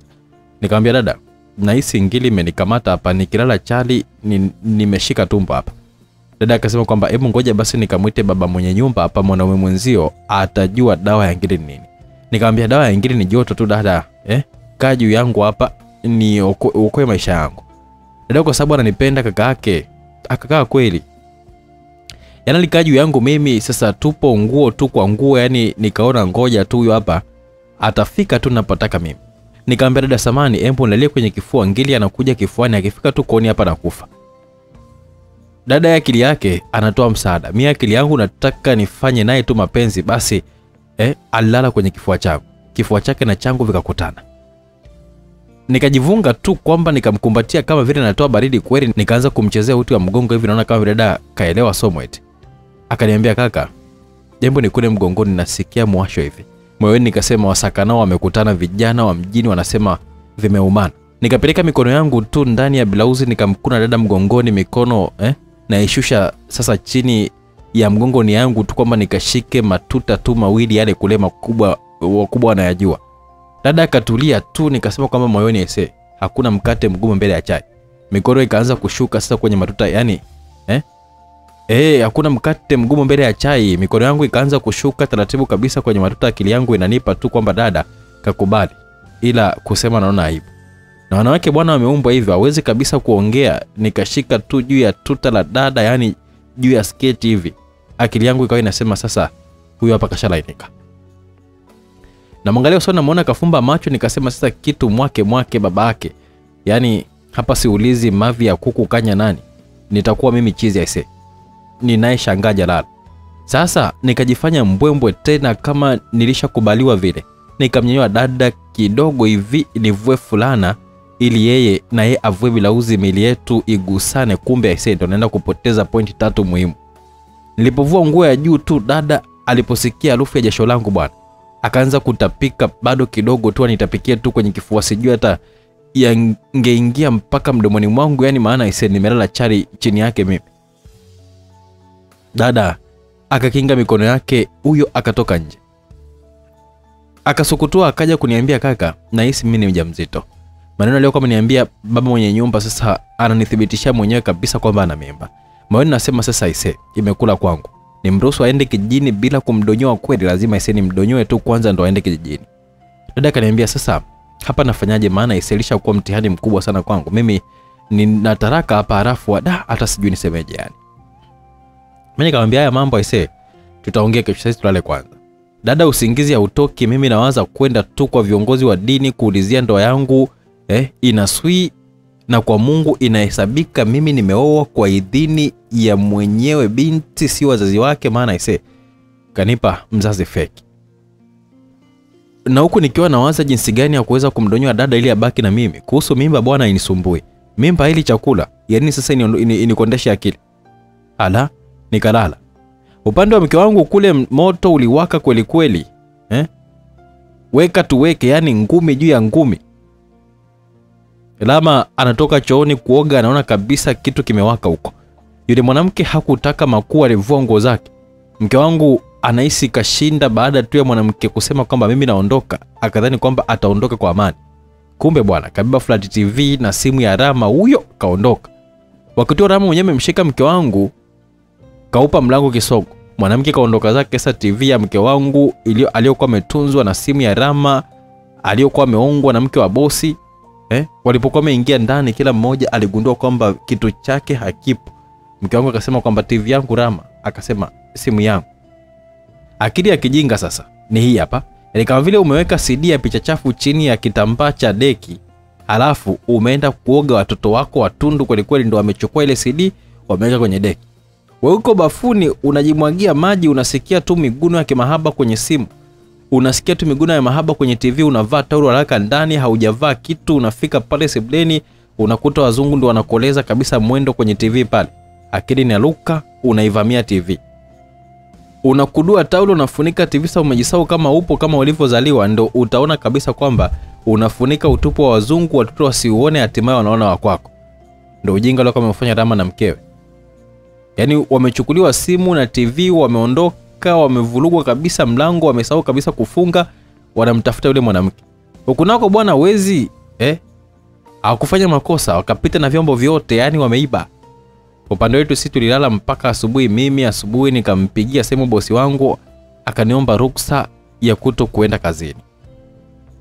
Alikubali nikaenda kwa shekhe mmoja hivi kumuuliza kuhusu ndo, ndoa yangu nikamkuta nikamwelezea mwanzo mwisho shekhe yule shekhe anajibu kwanza sheria ya ndoa kwa mwanamke ni haramu kabisa mwanamke kujihusisha mwenyewe. Na mwanamke yeyote aliyeolewa bila idhini ya wazazi wake ndoa yake ni batili. Wewe kama kafanya ujanja huo kutafuta tu wazazi feki kwanza ujue kabisa kitu kimoja. Mashekhe wengi wanaozesha wake za watu bila hata kujua. Na kwa sababu hawataki kabisa kufuata misingi ya, di, ya dini wao wanaangalia shilingi elfu ishirini ya chapu tu kwa haraka alafu eh, na chuo chake tu ndio kinaenda kupiga dufu kule. Anaona bahati ipo kwake. Vijana wa mjini wanasema kwamba eh, kaua ndege wawili kwa jiwe moja. Yaani anachukua pesa ya kuozesha anachukua na shilingi elfu themanini ya dufu. Maana siku hizi ilo dufu aisee mpaka tetema inaimbwa. Na mashehe tupo tu hatukemei kwa sababu tunaogopa tu kuambiwa kwamba wewe unajifanya umesoma sana halafu unaijua sana dini eh? yaani uharisia kabisa wa dufu na kigoma cha uruguay hakuna tofauti kabisa. Tuseme ukweli kwamba japo inauma maadili ya dini hamna kabisa sasa hivi? Angalia wenzetu swala la ndoa kabisa wanavyolipa heshima kwanza tangazo litapita na litangazo ili kusiwe kabisa na atakayepinga ndoa ile. Sisi mwanamke anamtoroka mumewe mwanza anakuja dar es salaam anafanya kazi anapata marafiki unampata wewe unamwoa pasipo kujua kwamba huyu ni mke wa mtu. Na kuambia pasipo kuficha wewe hauna ndoa na wewe mwanamke. Eh? ikiwa hao aliokuonesha si wazazi wake sawa? Nikamwambia sawa shekhe sawa shekhe wangu nikarudi nyumbani kwa furaha kabisa. Waz- wazo langu sasa ni kudonyoa tu. Ili moja nishalimaliza tayari. Upande wa mke wangu wamemfuata yule mwanamke kwenye ile nyumba ambayo alikuwa anaishi. Wakizani watampata kumbe kahama muda alipokuwa nakaa hata haijulikani. Wameshika vichwa akarudi kwenye chumba chao. Sasa walipofika ndo wakashika kichwa. Macho yamewatoka hivi. Yaani hawaamini kabisa macho yao. Chumba cheupe? Hakuna kukumbatiana kama hivi yani eti kimahaba mahaba kila mtu alikuwa ameshika kichwa chake tu analia lama anatoa sauti kama mtoto wa kike amefiwa. Maana kumbe bwana lama alikuwa anaishi maisha ya kuweka pesa tu kwenye kibubu. Wezi wamepita nacho. Sasa hakuna wa kumbembeleza kila mmoja analia upande wangu mimi kumbe mdogo dadangu alikuwa amekuja kutoka kijijini akaenda kule kwa mumewe dada kule. Akaambiwa kwamba na majirani dada yako kaachwa na anakaa kwa kaka yenu hivi mtaa ule pale. Akaenda kumbe pale napo tulikuwa tumehama akaelekezwa nilipokuwepo kwa sasa hivi. Mimi nafika pale nasikia mdogo mtu akiwa anamfokea dada yani dada dada yake amekosea sana Uwezi kabisa kuachwa na mwanaume ukaenda kukaa kwa mwanaume mwingine. Hayo ni matusi kabisa unatukanisha kabila na wanawake wa, kwa ujumla. We nyumbani umeua embu nipe sababu tatu za wewe kukaa hapa na talaka yako niambie. Niambie dada kwa nini umekaa hapa? We, we niambie Aisee, mimi sijamwona hata sura huyo mdogo wake wa dada yake lakini asi sauti yake tu ya msitizo ikanishtua sana. Nikamsikiliza dada atasemaje? Sasa namsikia dada anaanza kusema kwamba mdogo wangu we unajua tu kwamba nilikuwa nimeachwa saa ngapi? Na nia yake ilikuwa nini huyu mwanaume? Na nikwambia tu kwamba huyu si mwanaume. Ni kaka tu kabila moja anatokea kijini kwetu. Kanistiri tu dada yake hapa.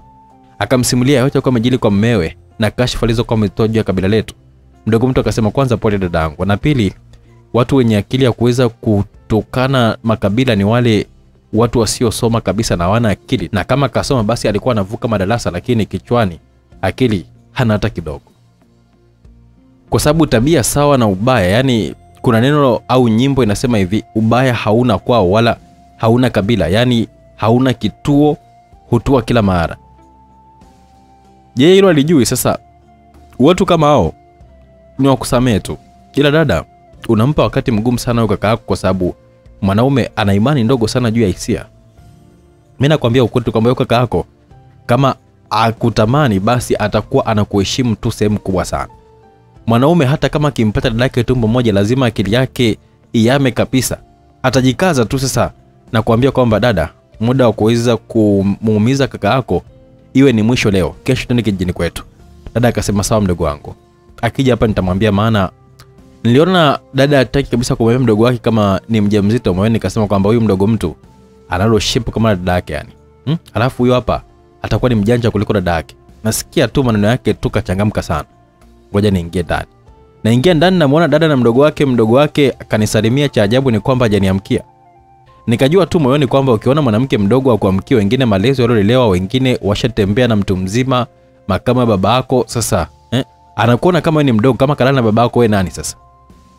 Sio wanawake tu, hata wanaume wenye kupenda kutembea na wanawake sio umri wao, yani wale wenye kauli zao tu ng'ombe hazaiki maini.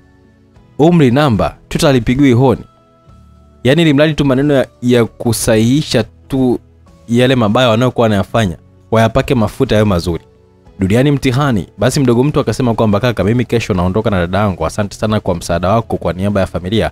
Acha ni kushukuru tu, mimi nikinawakilisha familia yetu, huku akiwa anacheka. Wakunyumba ise yupo vizuri, lakini hamzidi dada yake.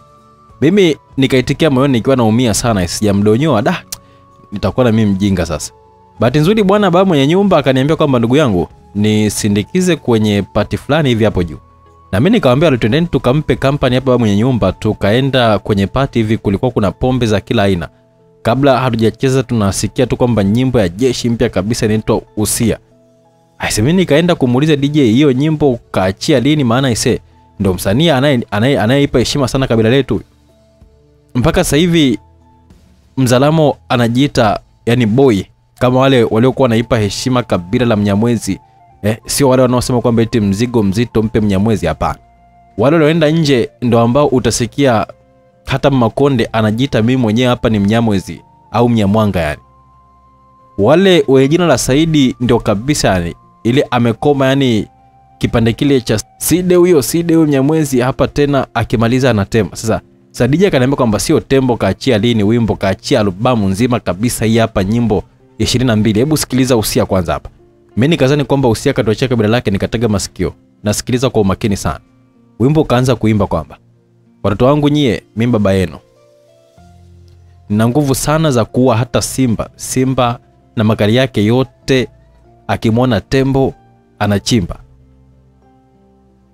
Basi ule wimbo ukaendelea pale bwana, kwamba Mungu akikupa kilema lazima lazima tu atakupa na mwendo, yani lipiza mabaya kwa wema. Kuna maisha bila upendo. Kumdharau usiyemjua ni dhambi, dhambi kabisa. Ongeza kuomba Mungu na dua popote pale kambi kambi.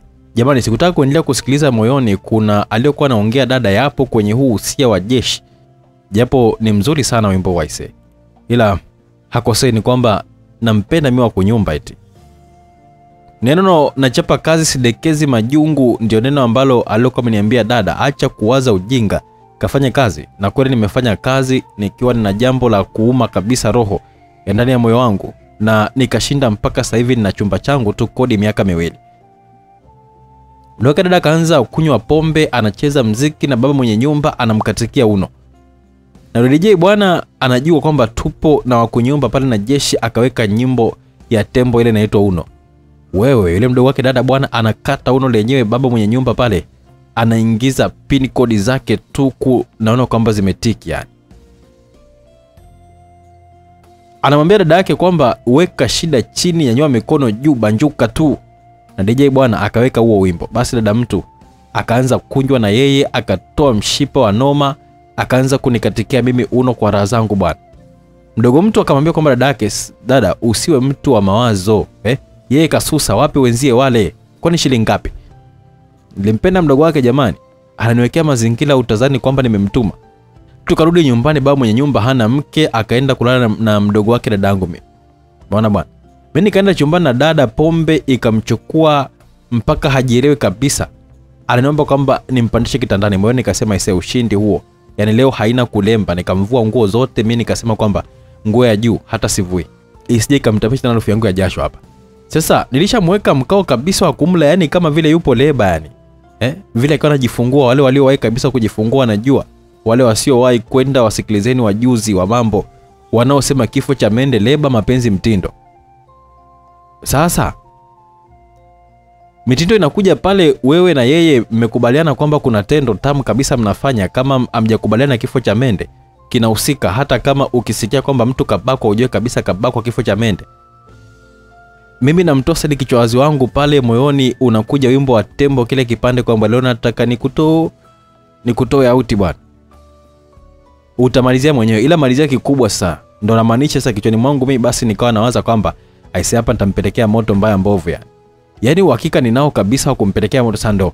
nimeshika saidi kichwa wazi wangu tu pale nampeleka nampeleke, nimpelekee moto dada ili nataka tu kugusisha kwenye nyama ya nyama kwa nyama yani mlango unagongwa kwa nguvu kwelikweli gongongongongo ah, wanaogonga sio waungwana kabisa. Mwenyewe nikatoka nje. Namkuta mke wangu kawekwa chini pale anapepewa. Kumbe ametoka hospitali baada ya kulia yeye na, na rama mke wangu huyo hapa alipoteza fahamu kabisa akapelekwa hospitali alipozinduka anasema kwamba nipelekeni kwa mume wangu ndio kaletwa pale. Sasa wale wote wanajua kabisa mimi ni mke wangu ile pale ananiambia kwamba embu wapigie simu ndugu zake wajue kwamba ndugu yao anaumwa. Yaani ndo wanazidi kabisa kunichanganya. Wakamwacha wao wakaondoka zao. Mimi nikaenda kumvalisha nguo dada. Nikaenda kumgeba mwenye nyumba nasikia kwamba sauti ya mahaba lakini najitoa tu ufahamu kwa sababu maji yako shingoni yule mke wangu kalala pale ajitambui. Mi nimegonga we hawafungui. Yani mpaka nilipokuwa nimesikia neno asante mai mimi napenda watu wazima amnaga fujo kabisa kwenye mahaba. Sio vijana wanakupindapinda tu mpaka unatoa melio huko pana, panapolia tu mbwi mbwi. Lakini sasa nimesikia mlango unagonga hebu toka nje kaangalie. Mimi nikawa nampepea sasa najiuliza kwamba akifa huyo hapa mimi nitampeleka wapi ndugu zake si, si wajui yani nikajuta kimoyoni kwamba ndoa hizi za juujuu aisee juu kwa juu ndo mazala yake haya sasa ba mwenye nyumba kaja kaniambia kwamba hebu tumpeleke hospitali kweli tukampeleka hospitali. Mimi nilimwambia kwamba dokta eh, ni msamalia mwema tu ambaye nimempa, nimempa msaada nia ya kusema kwamba vile asije akafa. Nikaambiwa kwamba hebu chukua maiti ya mkeo haya nenda naenda kuipeleka wapi mimi? Ba mwenye nyumba anashangaa kama mimi ninaposema kwamba ni msamalia mwema tu kichwani mwake anajiuliza kwamba maswali anayojua yeye mwenyewe. Nikaambiwa na dokta kwamba nikae pale nje kidogo nipishe madokta wafanye kazi zao kweli ise nikatoka baba mwenye nyumba akaniambia kwa mwanangu kwani wewe kwenye harusi yako hata shemeji hakuwepo? Eh? walikuwa mashoga tu wa, wa, wa mwanamke au? Nikamwambia yani kuna jamaa mmoja hivi alikuwa ndo kama kaka yake. Ila wakati wa matatizo yangu mimi nilipokuwa nimempeleka akasema kwamba yeye ni kaka wa mjini tu hapa. Hana, hana undugu naye hata kidogo. Akaniuliza kama ulivyokuwa wewe na dada yako yule? Nikamwambia sio mimi na yule pale ni kaka wa kabila sio tu wa mjini. Sasa eh, wao sio wa kabila ni wa mjini tu yani. Kaka kaka tu yani. Eh? ba mwenye nyumba akaniambia sasa mwanangu hayo ndo matatizo yenu vijana kutaka mambo yenu kufanya juu juu tu yani. Sasa eh? mshenga wako yuko wapi? Da alipohitaji mshenga niliumia sana. Mshenga wangu alikuwa ni lama ambaye na yeye pia katembea naye sasa. Moyoni nikasema baba mwenye nyumba ananiuliza maswali magumu sana ya kuuma moyo kabisa ila sina wasiwasi. Nishasema kwamba mimi ni msamalia mwema tu dokta. Anajua hivyo. Sababu mwenye nyumba akanifurahisha. Akabadilisha mada kabisa akaniambia kwamba sasa bwana mi nataka uwe mshenga wangu hivi nataka kumwoa kabisa mdogo wake dada yako. Maana ise kanifikisha kunako. Mimi nikasema ise jitu zima lishapewa mambo adimu kabisa huko. Kachetuka hapo akili sasa anaweseka tu hapa. Nikamchomekea nami kwamba kafanyaje jamani mdogo wake dadangu akafunguka yule aswa yani akataja kabila kabisa maana ukitaka kumjua huyo haswa dada zenu wana vipele fulani hivi eh? kiunoni yani wanafundishwa kukatika juu juu yani eh? akishwa kiuno chini anakutana na sindano sasa kabla hajafuzu kukatika eh? lazima ajichome na sindano ndio inamletea vipele fulani hivi sasa wewe mwenzio nimefungwa tenge mimi mambo hayo utapata kwenu tu eh? unafungwa tenge kwenye kiuno yani yani siwezi hata sema jamani ase hebu tufanye tu mpango tu umalize ili tuende kijini kwetu. nikamwambia baba baba nikamwambia mwenye nyumba kwamba ili limeisha. We twende bwana tukamalizie tu usingizi wetu. Huyu hapa si yupo hospitali kesho atajua mwenyewe. Baba mwenye nyumba akasema kwamba "Ah, huwezi kukimbia dhambi yako hata siku moja. Umeona mke alipata tatizo aliyomwokoa alipata afadhali akasema kwamba apelekwe wapi? Na hapa hata akipona huyu wako la msingi mwombee tu uzima ili umpe talaka yake tu na umwepuke. Nasema hivyo japo inauma sana kusema neno talaka kwa sababu ninyi ni mke na mume. Nikamwambia siwezi kabisa kumpa talaka kwa sababu yule pale kisheria ya dini si mke wangu na mpaji talaka wala. Na kuambia elimu pana hiyo. Ndio maana mpaka leo muuliza dufu ni haramu au si haramu? Kuna mkanganyiko sana wa majibu juu ya swala hilo. Ndio ndoa yako kuna wengine watasema kwamba eh, ndoa ipo kwa sababu ubani ulishachoma eh, na mmefungishwa ndoa. Sasa kuna mtihani mkubwa hapo usichukulie dogo kwa upeo haraka haraka. Mimi nashanga kabisa unasema kwamba wewe msamaria mwema tu kwa mkeo. Maoni ya Yesenia niliumia sana. Anaongea neno mke mke mke. Mimi Yesenia nishasema kwamba msamaria mwema tu kwa dokta mpaka dokta asikie. Naonekana kwamba ni mwongo na ukubwa huu kweli. Mara dokta akaniita we kijana hebu njoo. Nikaenda. Ile naingia tu chumbani kwa dokta na mbona mke wangu kapata fahamu. Kaniita mme wangu. Dokta anashangaa. Mi nikasema siumbuki kirahisi rahisi hapa hivi yes, ni jeuri? mimi namkana kabisa mbele ya madokta. Nataka nianze kuongea na mwone alama anakuja ananiambia kwamba pole aise huo ndo upendo wa dhati kabisa kwa mkeo.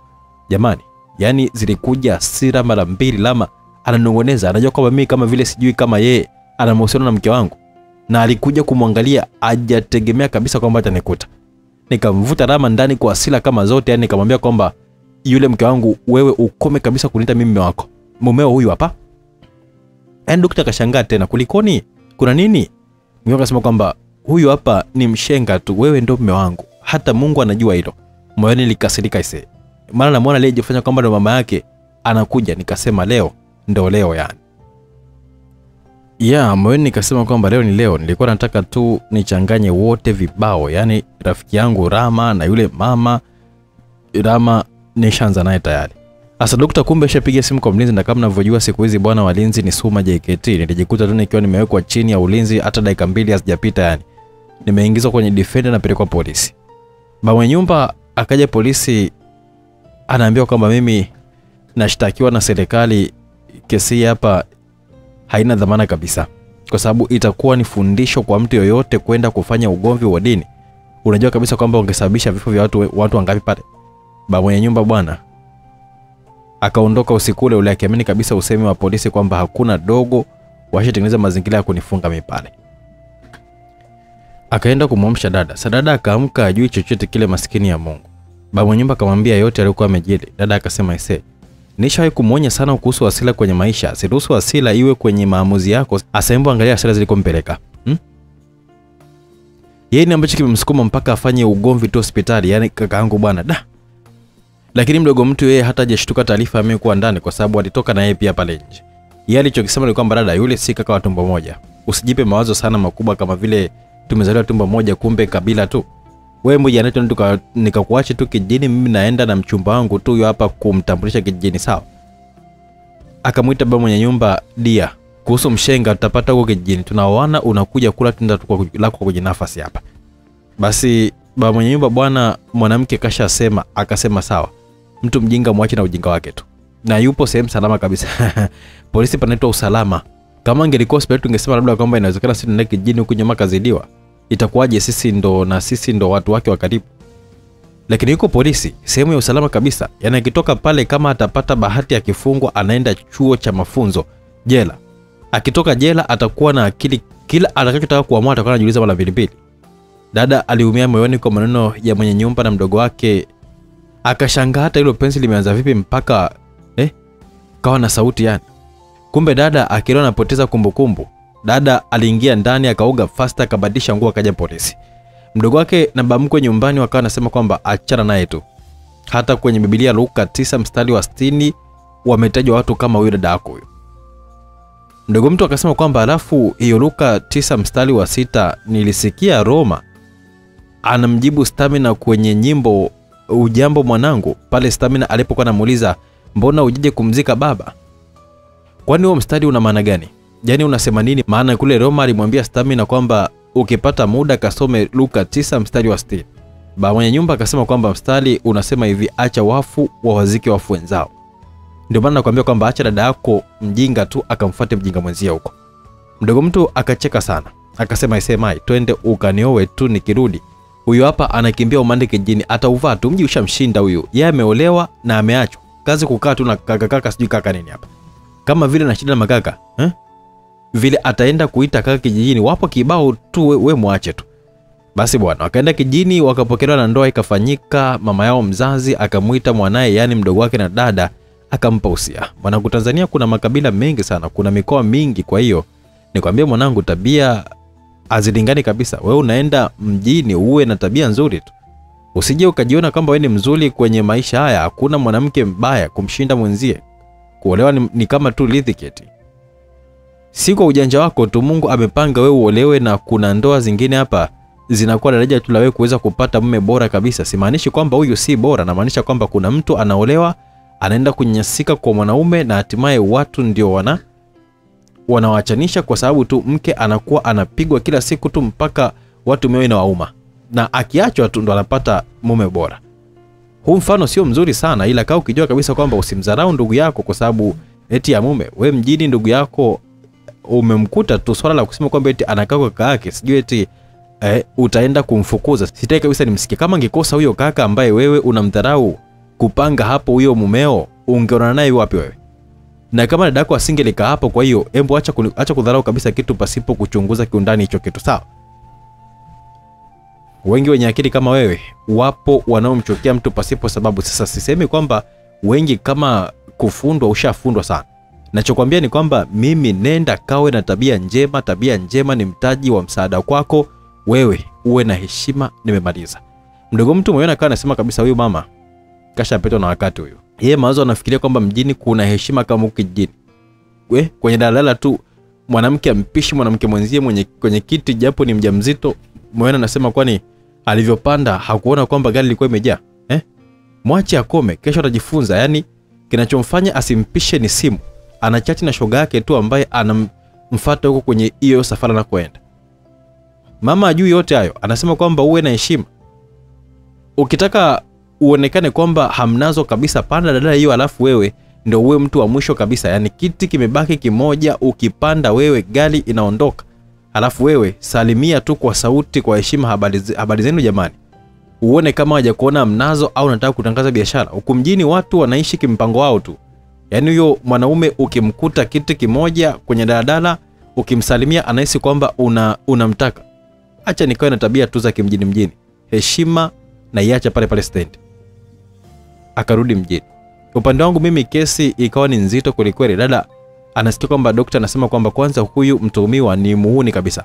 Alipokuja alijitambulisha kama msamaria mwema tu wakati huyo mgonjwa ni mkewe halafu kafanya fujo kubwa sana. Ila dokta mkuu yupo tu dodoma anasema kwamba anakuja kesho kutwa hapa kusimama naye tu mahakamani. Yeye atakuwa ni mfano mzuri kwa wahuni wote dada alilia sana akawa anafikiria kwamba aende kazini kwangu akatoe taarifa na bosi naye hakumkuta ofisini mambo yakawa ni magumu kwangu na kwake. Akarudi nyumbani ajipange kesho yake aende tena ofisini. Sasa usiku mke wangu pamoja na mama yake feki na rama wakaja kwenye, kwenye chumba changu hivi wanakuja kumfukuza dada. Mke wangu anamwambia kwamba hebu toka nje katafute kaka mwingine huyo hapa ni mme wangu mimi. Nimekwambia toka kwenye chumba cha mme wangu sasa hivi dada akaona mdogo wake na baba mwenye nyumba wanakuja akadhani kwamba atapata msaada. Hakuamini maneno aliyokuwa anasema mdogo wake. Mdogo wake akasema kwamba we embu toka usikii mwenye mume hapa. Akasema kwamba utoke si utoe tu mimacho yako tu utoke hapa wewe. Na nguo zako kama unampenda sana kaka yako nenda tu ukalale naye tu mabusu. nimesema toka kama mwenye nyumba hapa. Dada anashangaa ni maneno yanayotoka kwenye kinywa cha mdogo wake au ikabidi amwite jina weza, ina- weza bibu ndio unasemaje ndio unasemaje hayo? Mdogo mtu akasema we koma. Hilo jina usiniite. Tena sasa hivi nimeolewa. Nina jina langu. Nasema hivi. Ukitaka kulijua jina langu uende kejini sasa hivi. Atoka kwenye chumba cha mme wa mtu hapo nakupa dakika tano kabla sijaruhusu huyu hapa mke wa mtu hapa. Eh, akupige aseme kwamba amekufumania kwenye chumba cha mmewe. Dada akashindwa kuvumilia maneno ya mdogo wake. Akajikuta tu analia kwa uchungu kwelikweli kikamliza zaidi mdogo mtu akamwambia rama kwamba we mwanaume hebu mvute pembeni akalilie huko bwana aondoe nuksi kwenye nyumba kwenye nyumba yangu mimi hapa. Na rama kwa sababu hampendi alimkataa moyoni akasema sasa isi hapa upele umempata mkunaji. Akamshika dada kwa nguvu kweli kweli, akamkwida. Yani alimnyanyua kwamba atoke huku mdogo wake akiwa anaona kwamba anachukulia poa tu yeye kashamiliki nyumba kwa sababu baba mwenye nyumba si ndo wake rafiki yangu rama alitoa shati makusudi kabisa kajifanya kama vile msafi hataki kabisa lichafuke alipomkuta dada yangu kumbe ni yake ilikuwa ni aonyeshe kifua anamwonyesha mdogo wake tu dada yani anatengeneza mazingira mapema kabisa ya mtego wa kumpata. Lama anapenda madem sana. Yaani kama vile kaambiwa kwamba usipotembea na huyu mara huyu utakufa. Na mdogo wake dada kaangalia kifua cha rama pale udenda wa, mat, wa tamaa ukawa unaanza kumtoka. Wagoni wanajua jicho la matamanio la mwanamke na rama kashaona kabisa mdogo mtu pale kapiga jicho la matamanio ye ndo akajitunisha pale makusudi kabisa akamkunja dadangu eh, anamtoa tu kwenye kile chumba. Bahati nzuri bosi anakuja pale kuniangalia mimi anata, hana taarifa yoyote ile. Anaona dada yangu akiwa amekwida akasema kwamba wewe hebu mwache dada. Akatokea mdogo mtu pale kaka samani wewe unayesema kwamba acho huyu hapa ni mpangaji wangu huyu we, ukiachana na undugu tu na huyu anakaa na mume wa mtu. Sasa mwenye mume huyu hapo kaja. Haya unataka wakae chumba kimoja? Mimi ndo ambaye nimetoa amri huyu hapa atoke leo eh, atajua tu atalala wapi. Afu kesho arudi kijijini hmm? hajaua kule aende akaokote aka- korosho. Bosi akasema mimi siongee na wewe nataka niongee na wale chukua kodi. Mdogo wa dada akasema kwamba wewe wewe uwe na heshima. Mimi huyu hapa ni mume wangu yani mimi na huyu hapa mwili mmoja. Nikisema mimi ndo, nika, ndo kasema yeye mimi nishasema kwamba haipingwi bosi akasema dada usijifanye kwamba unajua kuongea sana. Umesikia unajua kwamba wewe mumeo ukachukua kodi miaka mingapi hapa? Sasa hebu kaa kimya. Mimi siongei na wewe. Heshima ifate mkondo. Na kuuliza wewe babu nyumba wakati nakupa kodi jamaa alikuambia kwamba atakaa na mkewe hapa au alikuambia kwamba atakaa na dadake?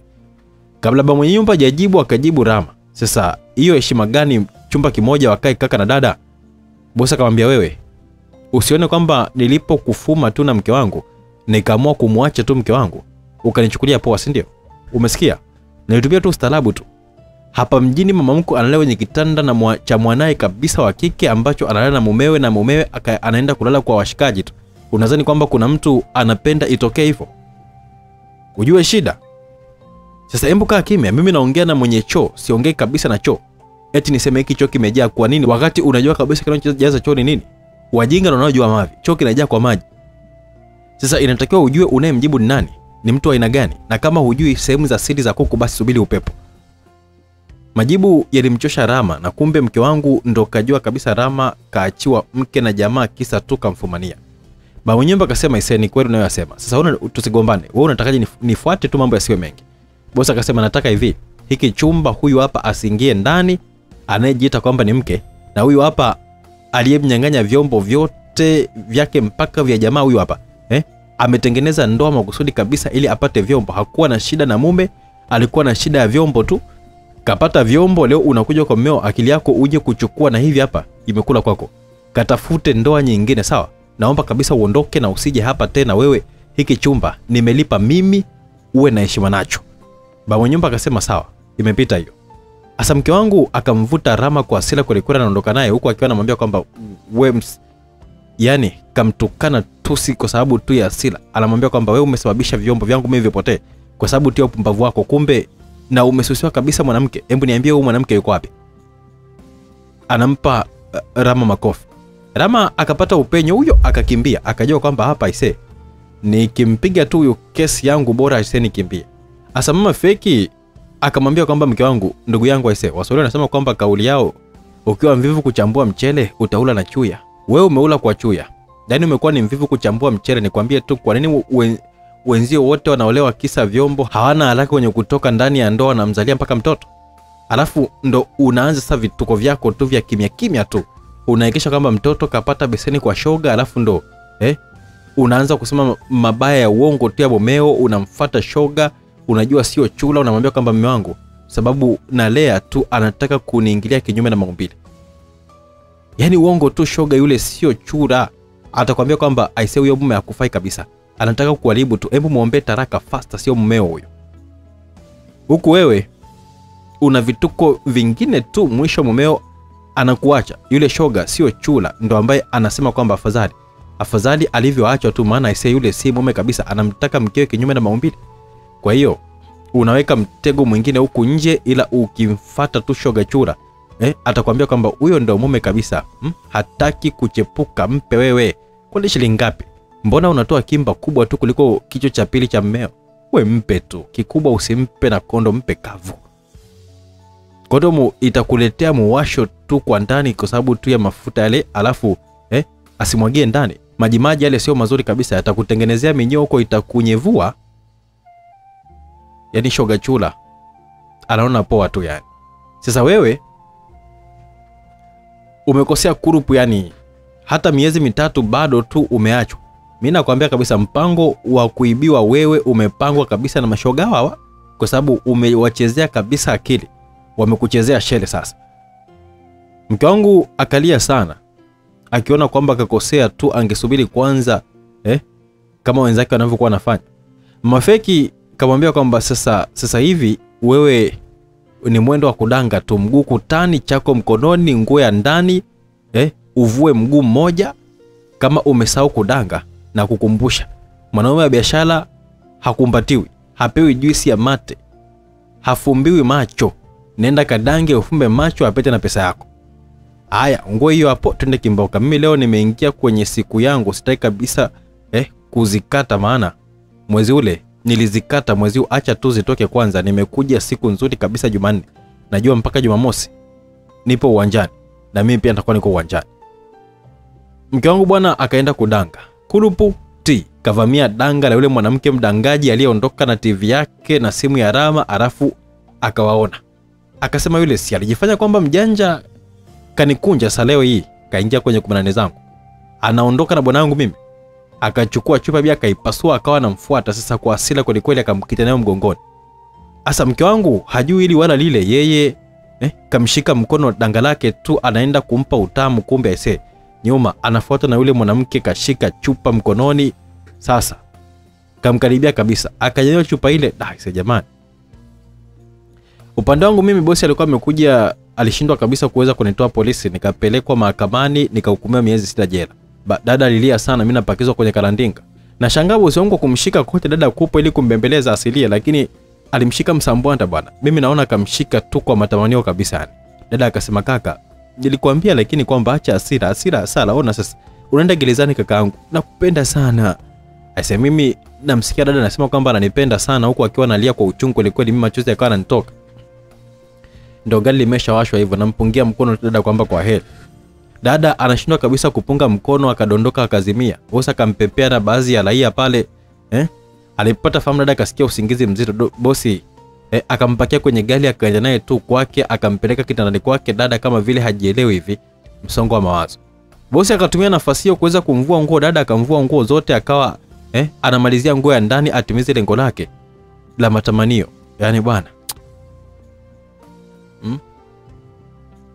bosi alikuwa tayari kabisa kichwa chake kisichoota nywele kabisa kimesimama tayari kwa ajili ya kuingia mlango mkuu wa kujia duniani. Sasa eh, akawa anamvua nguo ya ndani dada ni yake tu ni kwamba aunganishe vikojoleo bahati nzuri dada ufahamu kwa umemrudi.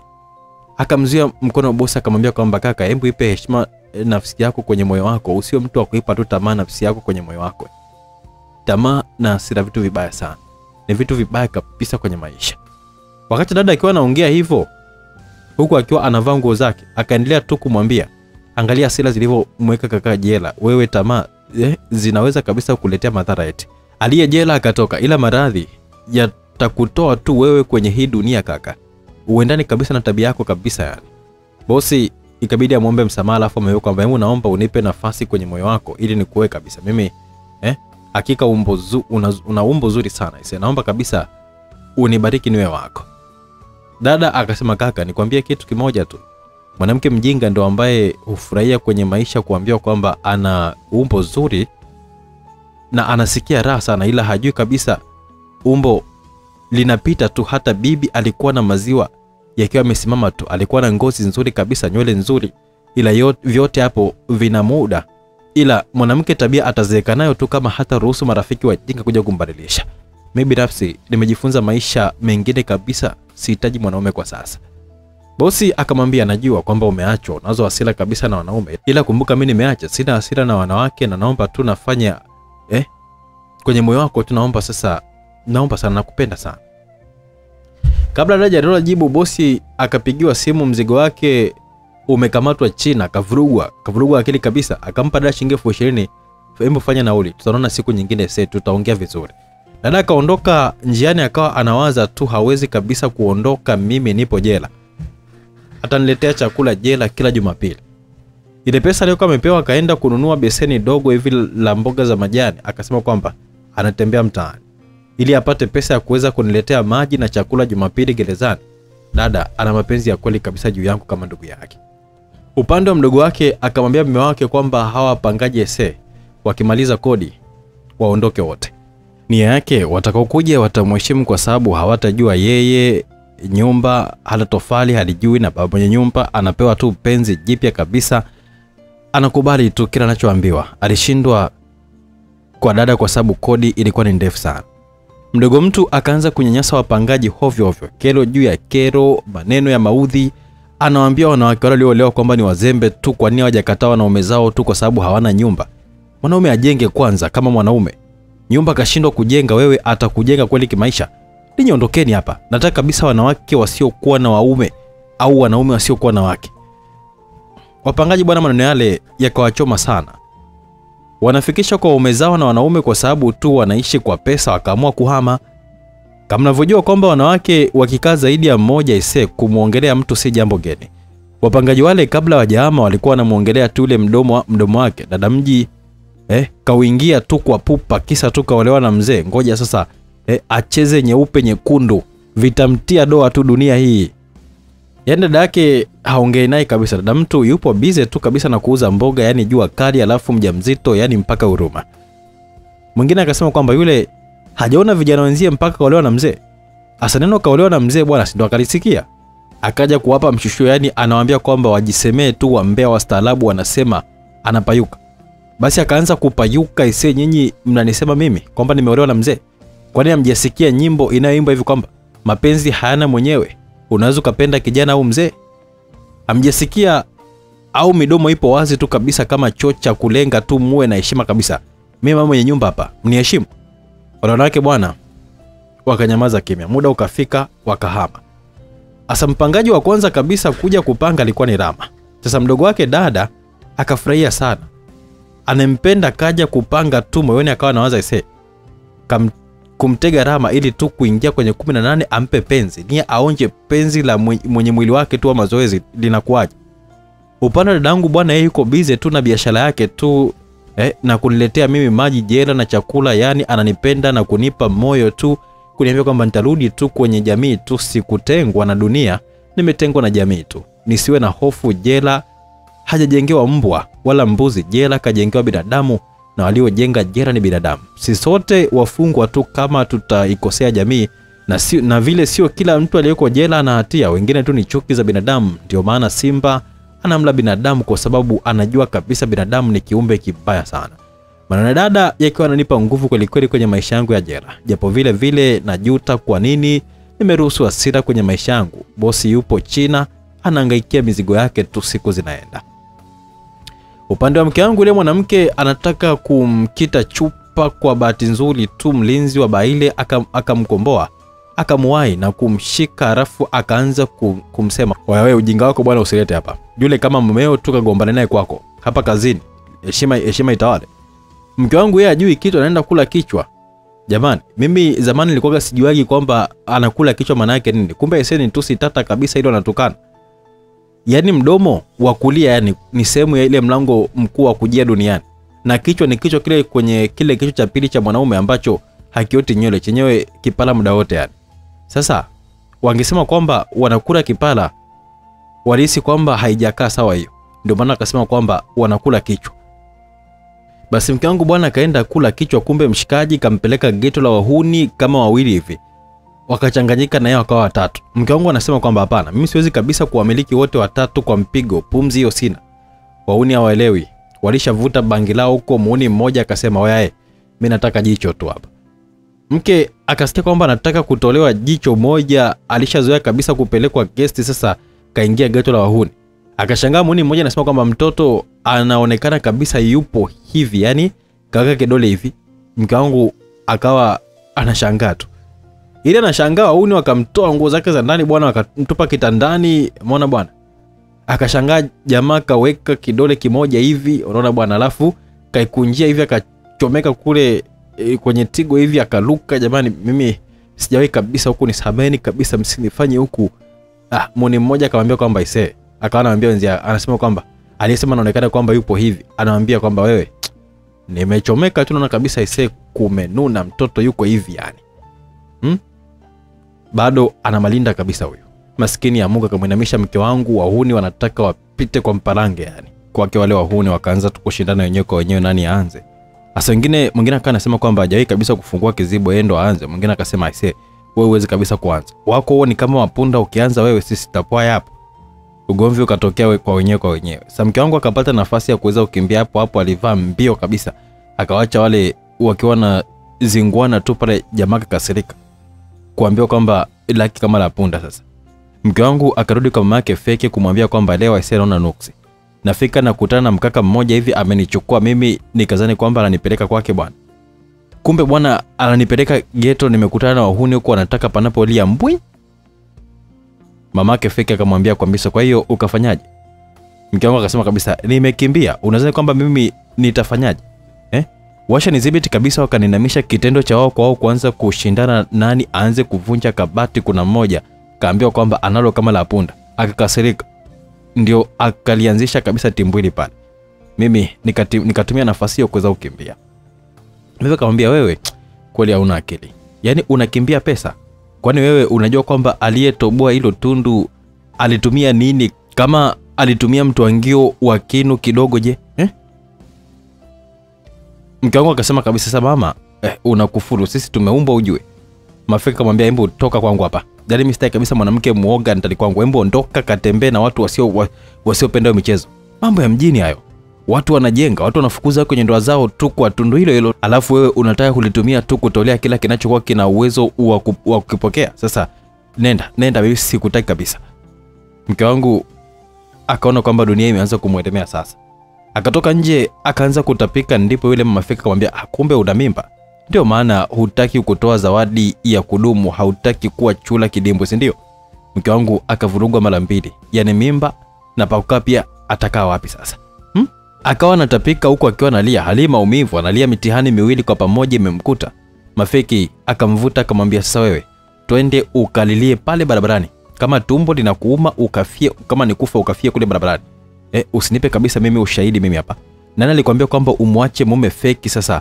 Eh, waswahili wanasema kwamba umelikoroga utalinywa mwenyewe. Akampeleka kule kwenye barabara akatulia hajui hata kalale wapi.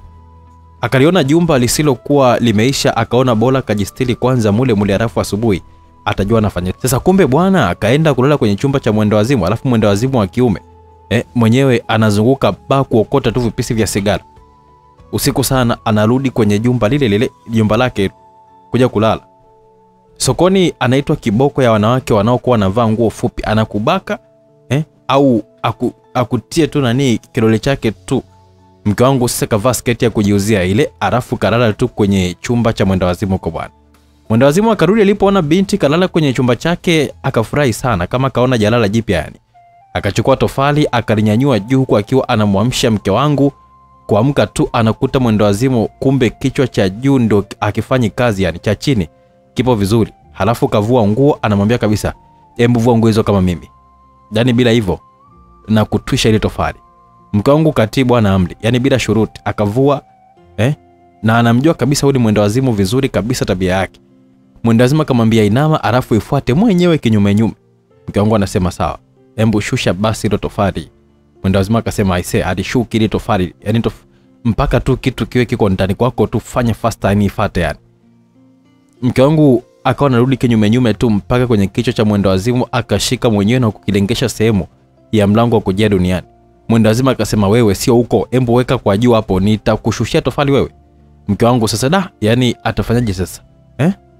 upande wa dada siku hiyo pesa ya kunulia maji hana kuniletea jera ikabidi aende tu kwa mnunua chupa za maji vile za uhai na kumwomba chupa ya lita kumi hivi akampa. Akaja nyumbani akaiosha chupa ile, akajaza maji kutoka nyumbani mpaka jela, kapanda nayo daladala.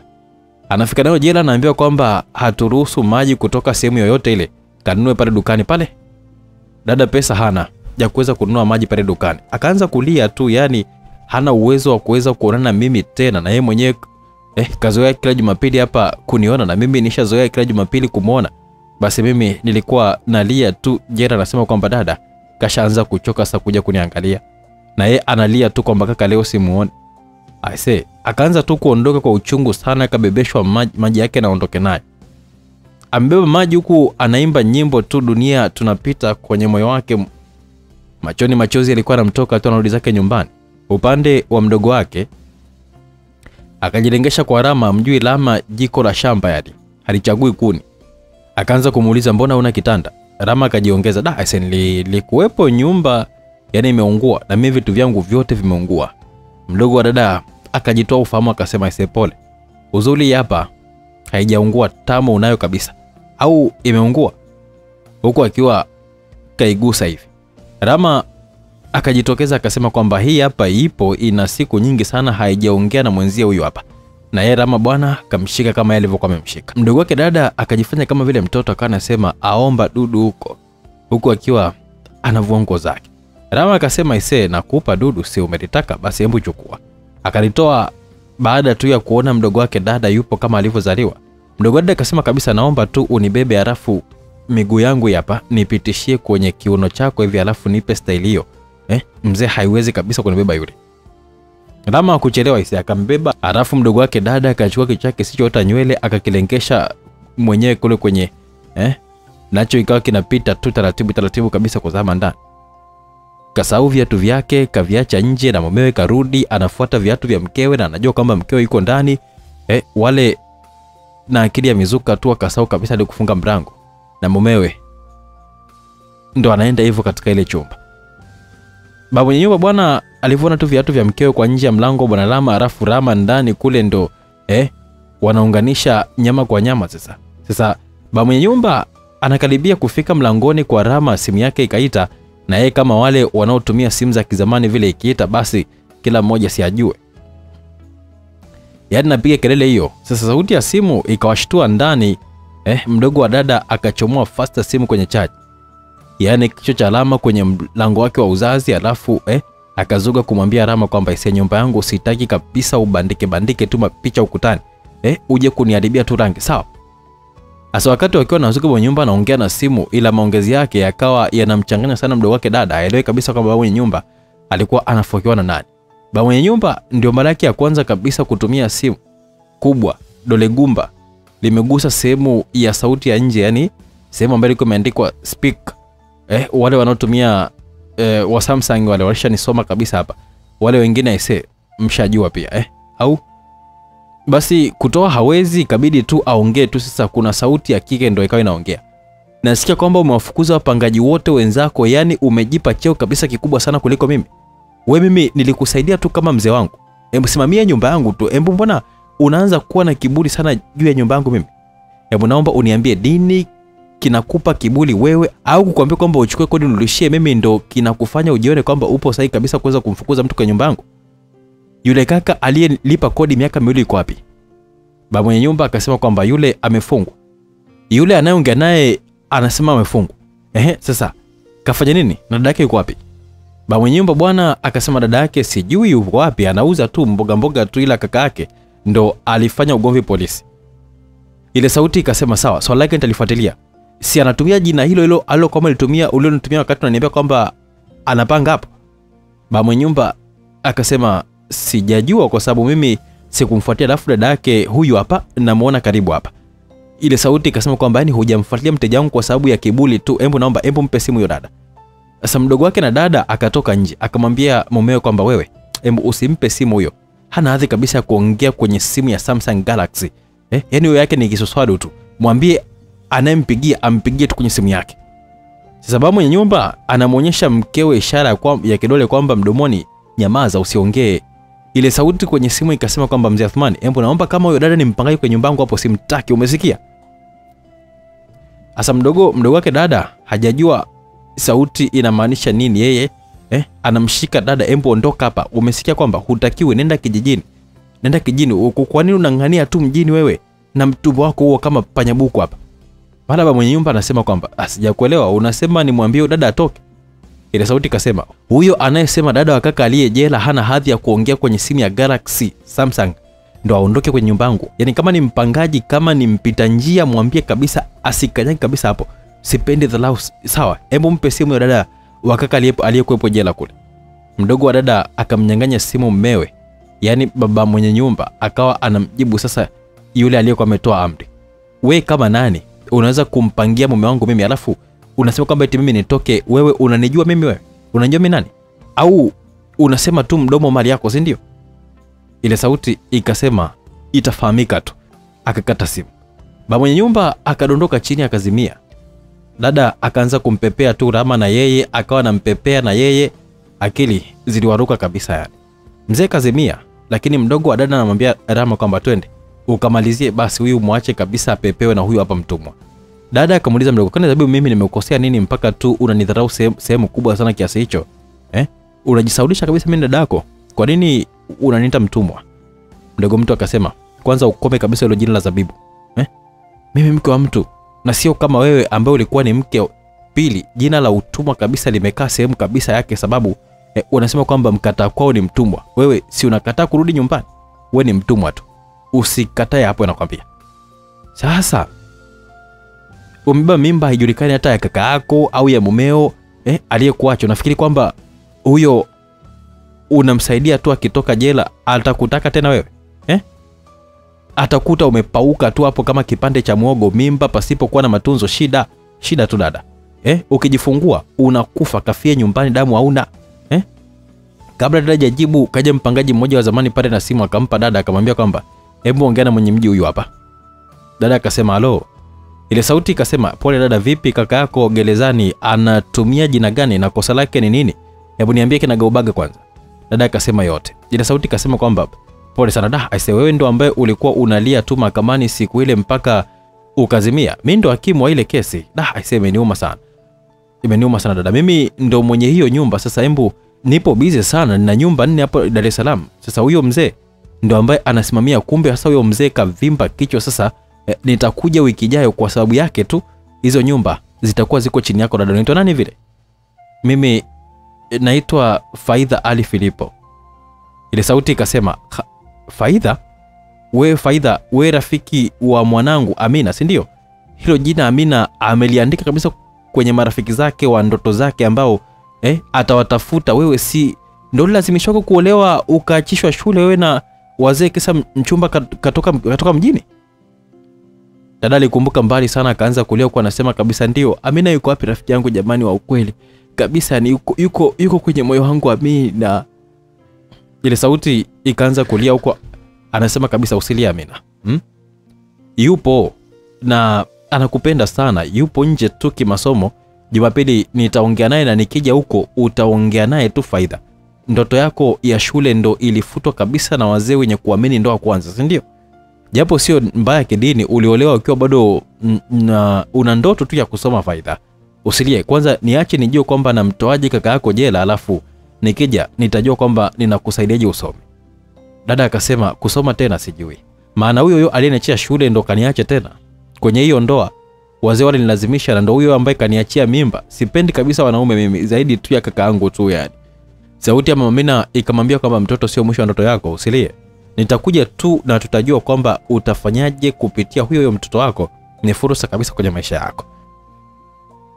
Kuna mpango mzuri wa kuwa balozi kabisa wa kwenda kuwaelimisha wazee kwenye miji miji yao, kwa sababu tu wengi wanawaambia watoto wao wa darasa la saba tu wasi, wasiwe makini kabisa kwenye mitihani ili wafeli, waodheshe kupitia wewe. Utakuwa ni mfano bora kabisa. Hebu futa machozi, faraja inakuja. Asadada akampa simu ile mpangaji, huku machozi akiwa anamtoka. Asa ile ni kisosadu, mdogo wake hajasikia hata moja ambalo alikuwa analiongea mama Amina kule. Baba mwenye nyumba bwana kaamka kakaa kitako kama vile anashangaa shangaa hivi. Dada anaenda chumbani kwake huku akiwa analia. Mdogo mtu kamkamata dada na mwambia kwamba wewe wewe wewe usiingie kwenye nyumba hii huku unalia. Kama umechambwa kwenye simu, lia hapo nje, ukimaliza ndo uingie humo ndani. mtumwa mkubwa wewe dada hakutaka kumsikiliza mdogo wake akawa anaenda tu zake chumbani kwake. Mdogo mtu akampiga dada kibao cha usoni mpaka kamchoma dada kainama akiwa ameshika macho yake tu mdogo mtu akamwambia akamweka kofi la mgongoni dada yake. Huku akiwa anasema sasa lia. Lia kabisa najua kwamba unalia kwa sababu nimekupiga. Ili wewe ndio simu ikulize? We mjinga nini? Dada akainua sura kwa hasira yani.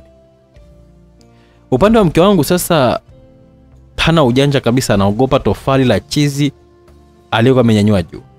Mwenyewe akashika kichwa cha chizi kile ambacho kichwa kizima kisichoota nywele eh, anajiingiza tu mwenyewe njia isi- isiyokuwa sahihi kabisa. Sasa kaigusisha tu chizi akarusha tofali pembeni eh, ili amshike kiuno amshindilie ndani vizuri sasa. Akarusha jiwe pembeni akamshikilia kiuno am, amsindilie. Eh? kumbe bwana bahati nzuri kwa mke wangu mke wangu lile tofali liliwashtua sungusungu wakafika fasta wakamwona chizi kashika kiuno vizuri kabisa. Anataka mshindilie nao mke wangu. Mke wangu naye akajiongeza akaamisha kile chizi chenye akili akakiweka juu karibu kabisa na mgongo. Mwisho wa makalio kama ukianzia kwa chini au mwanzo wa makalio kama ukianzia kwa juu.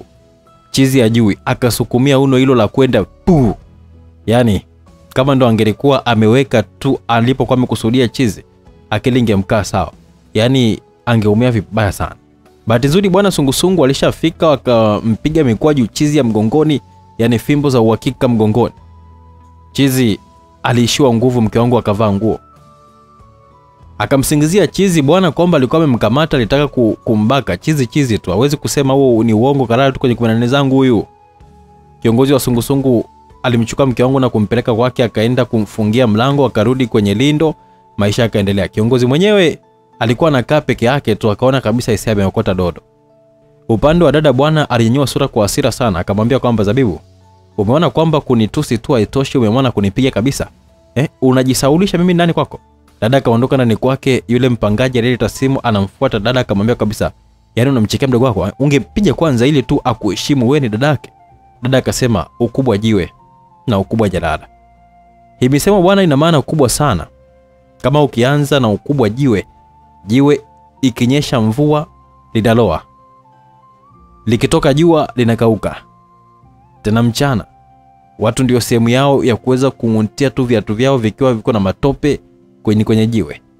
Lakini jiwe hilo hilo bwana ndo mtu akimsubiri mgeni wake usiku anakaa juu ya jiwe hilo hilo. Ndio maana wamesema kwamba ukubwa jiwe wanamaanisha kwamba ukubwa uvumilivu na waliposema ukubwa jalala wanamaanisha kwamba jalala limebeba uchafu wote na ndio na ndio ukubwa huo sasa. Ukubali kabisa kubeba uchafu wote. Sasa haya anayotenda mdogo wangu ni sehemu tu ya uchafu. Mbona hajakupiga wewe? Anajua kabisa kwamba akikupiga wewe kuna mambo mawili an- unaweza ukafanya. Ukampiga au ukampeleka polisi ndio maana kanivamia mimi. Mimi nasema hivi mtoto kanenyea mavi mkono siwezi kabisa mimi kuukata. Yule mwanamke akaona maajabu kweli kwenye maisha yake hajawahi kabisa kuona mwanamke mwenye moyo kama huyu hapa. Ikabidi tu amwombe ushoga tu amwambie kwamba naomba niwe shoga yako. Tunaamini kabisa kwamba kupitia wewe kuna kitu nitajifunza tu na kuomba sana niwe shoga yako. Da akamwambia sawa. Alipokubaliwa tu hapo hapo akaanza shoga mwenzako mimi na matatizo tu kwenye ndoa yangu aise yani mume wangu hanipendi kama zamani aise yani sijui ni kwa nini. Hebu naomba unipe ushauri shoga. Dada akasema ushauri wa kwanza kabisa nakupa kwamba mambo ya ndani hayapaswi kabisa kutoka nje hususan swala la upendo. We kama mmeo kapunguza upendo jitafakari wewe si kumtafakari yeye. Sababu kwamba wewe unaweza ukawa ndio chanzo mimi nakwambia kabisa hivyo kwa sababu moja kwanza ukipenda sana kutoa maneno hayo ya- ya ndani kupeleka kwa, kwa shoga ujue kabisa kwamba kuna mashoga wengine ndio chanzo kabisa cha migogoro kwenye ndoa, ndoa za watu. Unaweza ukawa unaomba ushauri kwa mke mwenzio tu na yeye akaongeza cha kuongeza tu ili wewe usipendwe kabisa. Sasa unapokuwa unajitafakari mwenyewe tu utagundua ni wapi unapokosea. Sisi wakati tukiwa tunachezwa tuliambiwa kwamba mume hapaswi kabisa kuambiwa stori za mashoga zako. Eh? wengine utaona kabisa wanawaambia tu waume zao tu da ashogangu fulani hajatulia kabisa yani eh, anabadilisha mabwana huyo. Kaa ukijua kabisa mwanamke mwenye mabwana wengi ndo mwanamke mwenye kujua vingi kabisa kitandani kumbe wewe maneno yako ndo chanzo kabisa cha mumeo kuanza kumtafuta shoga yako akaone kwamba kuna nini cha ajabu huko ndani. Ili anajaribu tu kumbe shoga bwana anatumia ndula miksa majani ya mpela. Eh? anakuwa ni gusa unasi, akigusa tu mumeo kanasa. Kwa sababu kuna siri kwenye ndula na majani ya mpela unajua? Sasa kikubwa ni kwamba chunga tu kauli kwa mumeo. Pili mheshimu mumeo.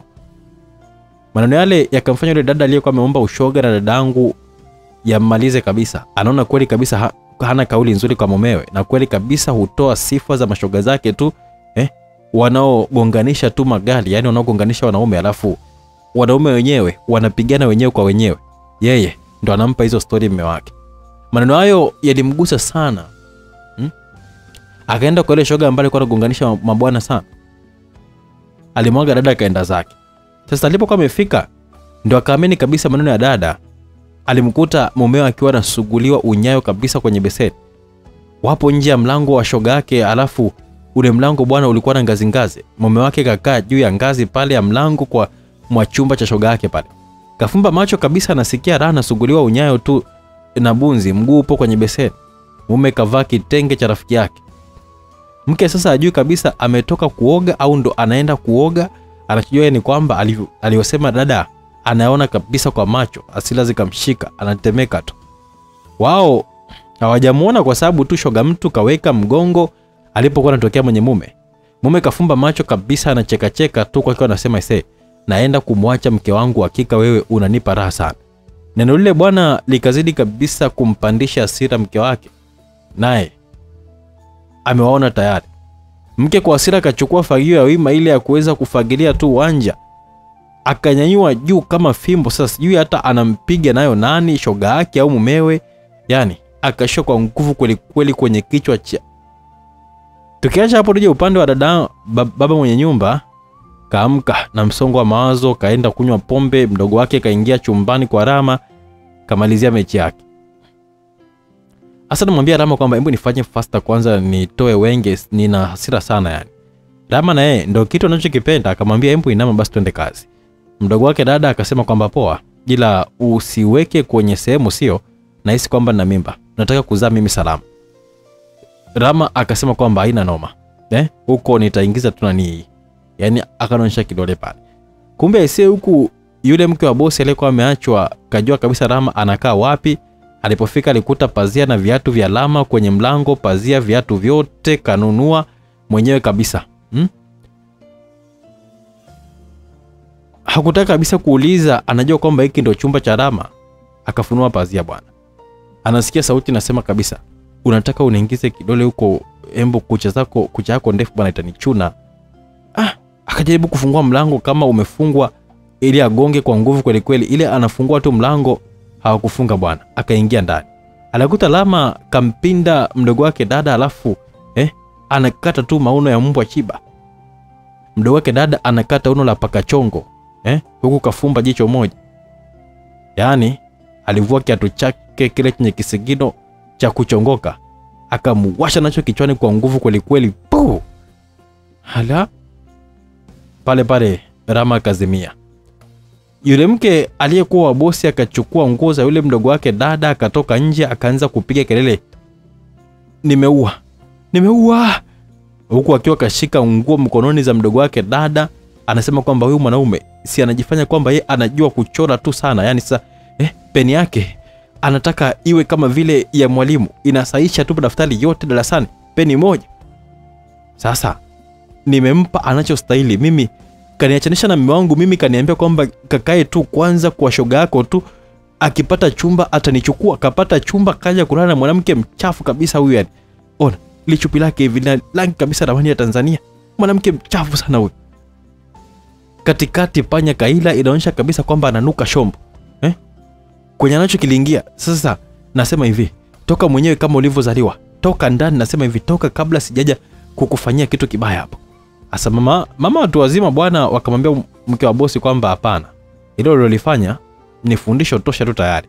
Umeshamzalisha vya kutosha kabisa eh? maana nguo za ndani hata elfu moja tu unapata. Ndio avae kama hii hapa kweli imefubaa kabisa rangi na kitobo juu kweli nanuka shombo ise. ila ukimwambia kwamba atoke nje kama alivyozaliwa eh? hapo utakuwa un, tunajidazalisha kabisa wenyewe wanawake wenyewe eh?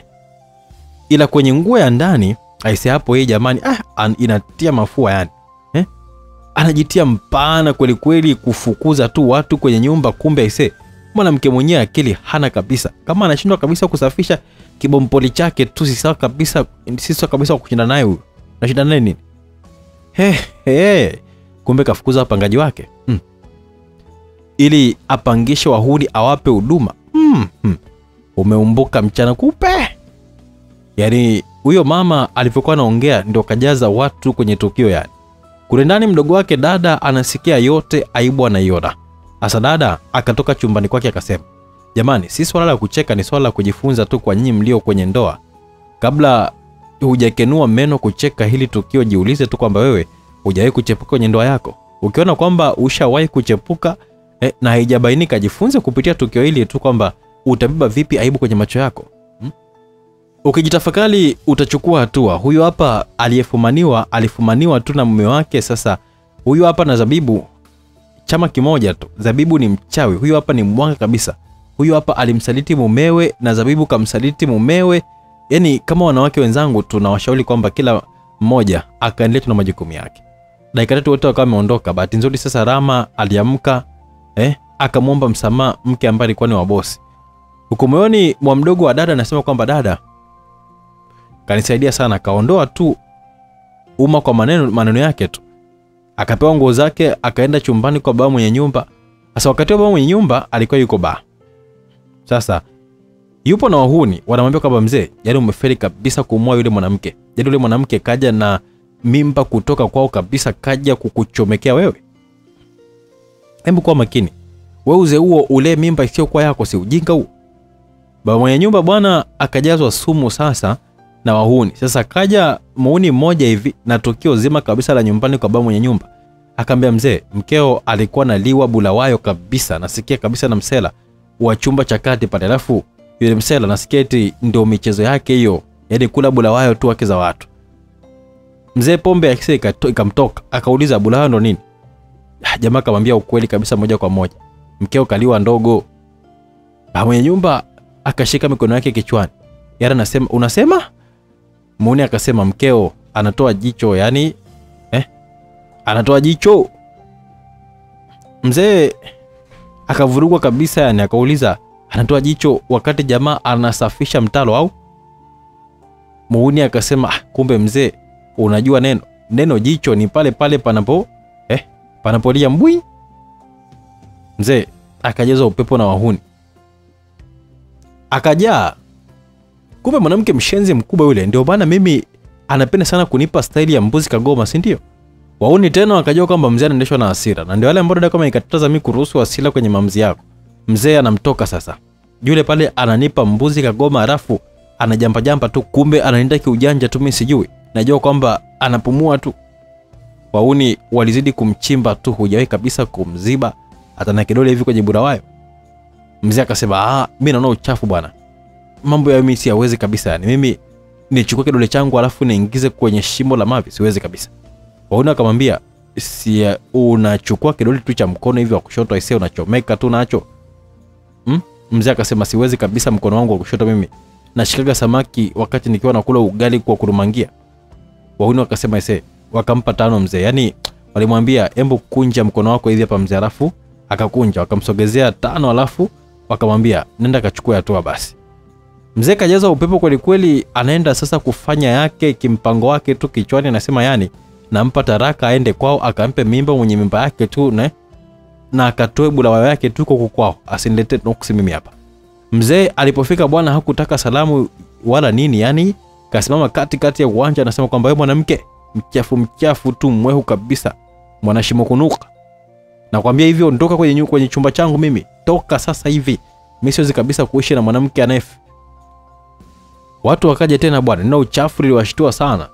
Ila neno la tusi ile ambalo silosimulika alafu kalisema mtu mzima ise likashtua wengi wale wauni wakaja bwana wakawa namchochea sema sema mzee ndio dawa yao hao wanawake wanaoruhusu tu ku, eh, kulukwa tu kuta sema mzee mzee stimi ya pombe bwana akaanza kusema mwanamke huyu anapenda sana kuliwa bulawayo eh? asinipeleke motoni mimi umliu hapa ni wa kutubu sio kuanza kutengeneza tu zambi mwanamke anapenda kuf... wanaume bwana wanapiga kelele kwamba wewe? Na wale wapangaji waliokuwa wamehamishwa tu na wao wanasema kwamba wewe eh, kaingia mjini kavamia jiji mzee pasua anataka kuzibisha tu kibofu makamu hayo mzee bwana anajazwa upepo naye anajaa yani anamtoka tu sasa kuna mpangaji mmoja akasema mzee tena nakwambia kabisa mpe talaka yake tu atakuwa mwanamke eh? mwanamke mwenyewe mvivu tu kazi kuunya tu mswaki wenyewe apigi akiongea mdomo unanuka mavi yamejaa tumboni sasa hivyo? Akiongea ndo anakuwa anatoa ile harufu mzee mkeo ananuka mdomo bwana. Mdogo wake dada asila zikawa zimemshika cha kufanya hana maneno ya shombo alikuwa anayasikia kule nje. Anasikia mzee ndo anakuja kushika mlango nje amtoe nje ampe talaka mbele ya umma kabisa wa watu. Wauni wakawa naimba nyimbo ki, ya diamond kipande kimoja hivi kwamba kweli wapendanao ndio maadui zikitimia bwana kweli wapenda nao ndio maadui zikitimia. So naikumbuka ile ya zamani sana? Ndio maana nimekumbusha toni yake hapo. Mzee akafungua mlango kwa asila kweli, akamshika kwa nguvu. Yani upande wa mke wangu kiongozi wa sungusungu akarudi kwake akamwambia kwamba mke wangu wewe ni mjamzito alafu unasema kwamba mmeo amekukimbia hauna pa kukaa?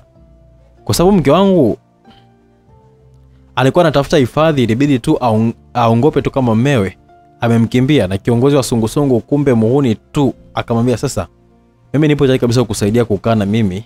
Uh, je upo tayari kabisa eh, na mimi kunipa tu banda la uwani hapa? Nilibomoe tu toka nizaliwe sijawahi kabisa kubomoa banda la uwani eh, mimi naomba tu kwa ruksa yako tu nibomoe mimi nilee mimba kiroho safi tu yani. Hata watu wakinicheka tu potelea mbali hawajui kabisa kwa nini kwako nitakuwa nimekwama. Unasemaje hapo? Du mtihani kwa mke wangu. Sasa anafikiria kwamba atoe banda la uani eh, asitilike au afanyaje yani? Kamanda wa sungusungu anasema kwamba hebu nipe jibu sasa. Eh, unafikiria kama hilo banda lipo mbali mpaka tueti tulitumia nauli? Huku akiwa anamshikashika tu matuta mawili ya nyuma ya mke wangu pale. Mke wangu akasema kwamba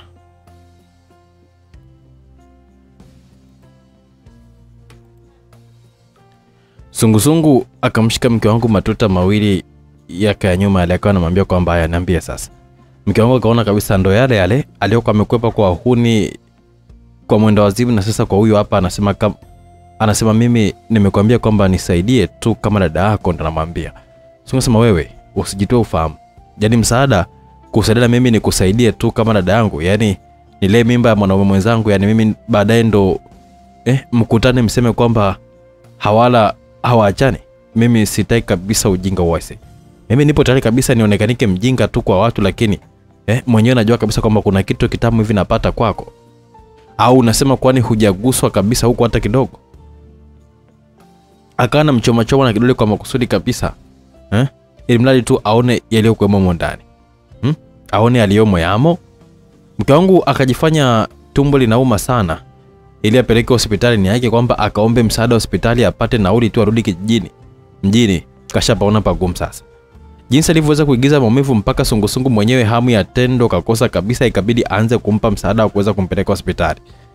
Nia ya mke wangu ni kwamba eh, akiwa aka- akapelekwa hospitali alipofika bahati nzuri kwamba akakutana na nesi. Hospitali ni nyingine kabisa ile ambayo alikuwa aliyokuwa amelazwa wakati ana mawenge na vitu, na vitu vyake pale sasa akawa ameanza kumwomba msaada nesi kuwa naomba amsaidie nauli tu arudi kijijini mjini kumemshinda. Nesi akamuuliza wewe kwani kijijini kwani ni wapi? Mke wangu akasema ndo mimi hilo ndo kabila langu mimi. Nesi akasema basi kuna dokta hapa na wewe ni kabila moja na nahisi kabisa kwamba ni kaka yako ile kwa sababu eh, anatoka kijiji hicho hicho ulichokitokea wewe.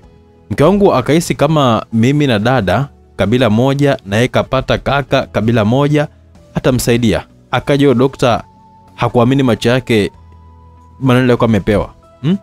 dokta akasema wewe huwezi kwenda kijini na mimba nenda tu ukamtafute mwenyewe mimba akupeleke kwao nyie mnaleta watoto siokuwa na matunzo na baba zao tu kwa sababu ya ujinga wenu tu wa kuweza kuchetuka tu na jiji eh?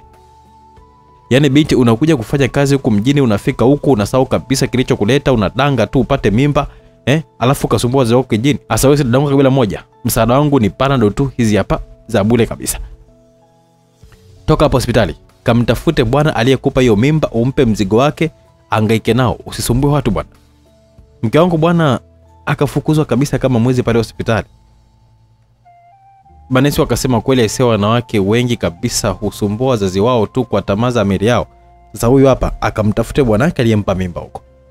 Mume wangu akajiuliza swali akapata jibu kwamba mtafute rama. Moyoni akasema kwamba rama ndio mwenye hii mimba. Na ndio nitampa nitampa japo sina hata uhakika lakini eh, nakufa na yeye tu yani.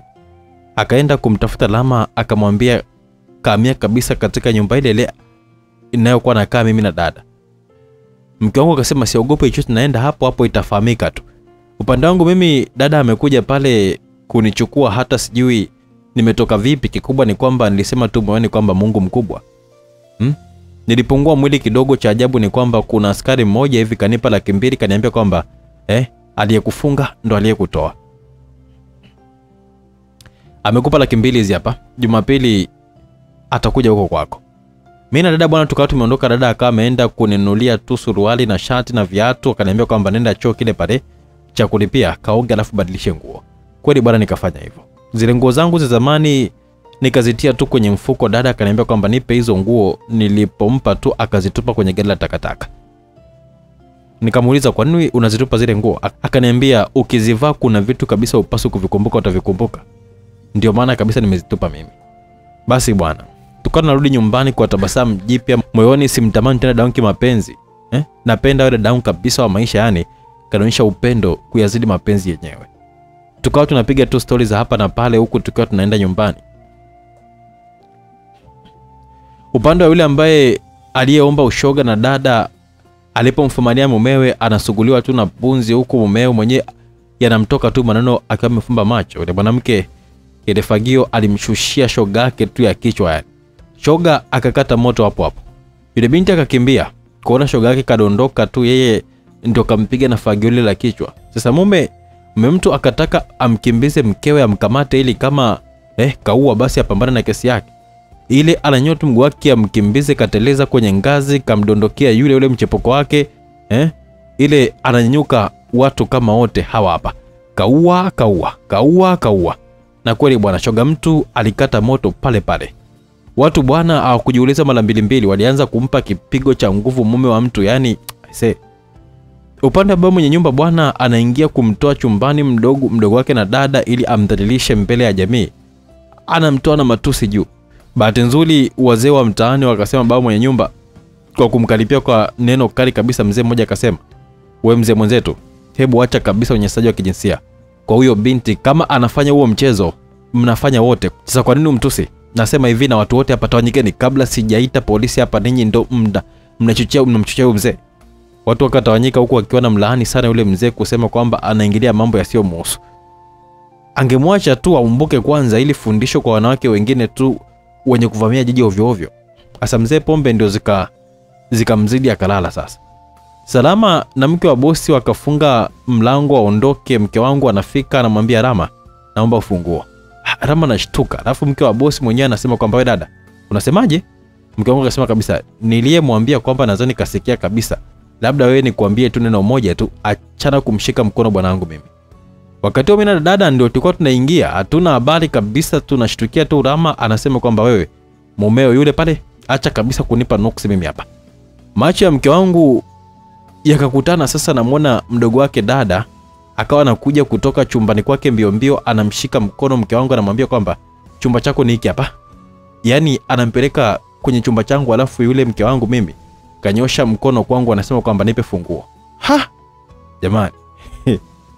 Acheni nishangae mimi. Yaani mgongo anyosha mkono anasema eti nipe funguo nataka nimpe funguo. Yaani maoni nilifikiria kwamba aise nimetoka kwenye kifungo hata chumbani kwangu sijaingia na kukutana na swala la kuuma roho kabisa.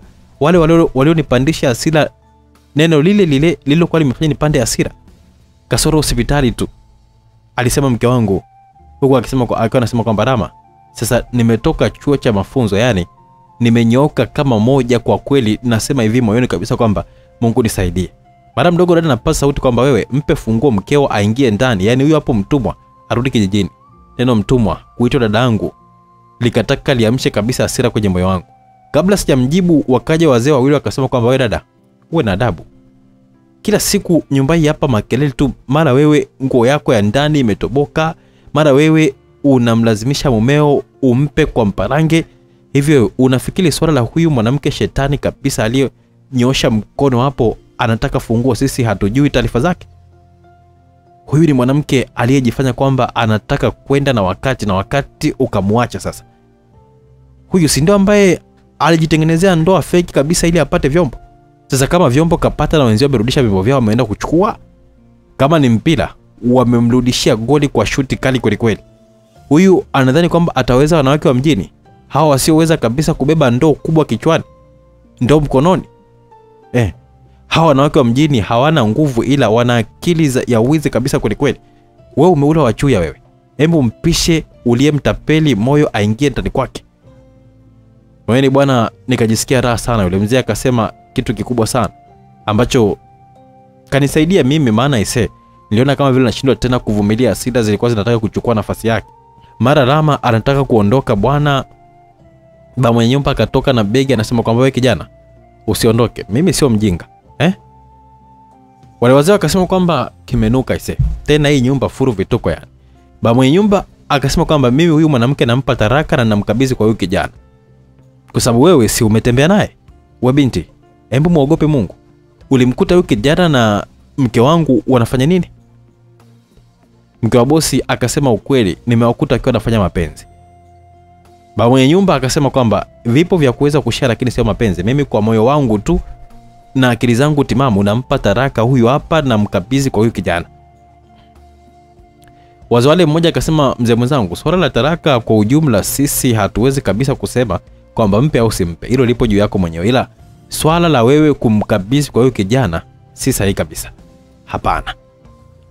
Wewe ulikabidhiwa na wazazi wake nenda tu kawakabidhi wazazi wake na akawaambia kabisa kwamba mwanenu huyu hapa nimemchukua bila kovu namrudisha bila kovu. Kanishinda kabisa tabia hilo litakuwa ni la busara sana kuliko hili unalotaka kulifanya hapa.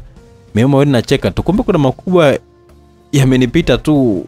Hapa naona mke wangu ametoa macho yake tu hajui yake ataishaje anashangaa tu ya mwenzie hapa. Ndipo unapokamilika usemi wa nyani halioni malizia mwenyewe. Madam mdogo wa dada anasema kwa upole kabisa wazee mimi kanichukua bila ya mimba kijijini na sasa hivi na mimba. Atanulishaje na mimba kirahisi namna hii wazee wakasema toba una mimba makubwa haya.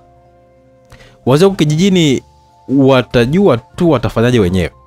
Mzee mmoja akasema mi nasema hivi ninyi tunaomba kabisa hizi muda umeisha naendeni mkalale. Mzee mwenzangu hebu punguza hasira ila kesho unata, una, utakuwa na maamuzi ya busara sana. Na wewe binti uliyekuja ushapoteza dira kwa sababu hii nyumba wapangaji hamna. Wewe lala chumba kile pale kesho na wewe swala lako litaongelewa tu mkiwa mko wote hamna hasira. Basi yule mzee alimaliza hivyo. Mi nikaingia chumbani na dada akapika chakula tukala. Dada anasikia harufu tu ya ndula na majani ya mpela huko yanatwangwa tu kwenye kinu kidogo. Akaniambia hapo kwenye nyum, nyumbani kwako hapo ukiamka kesho utashangaa kwamba ndo huyu au sio huyu. Unasikia kinu iko? Hmm?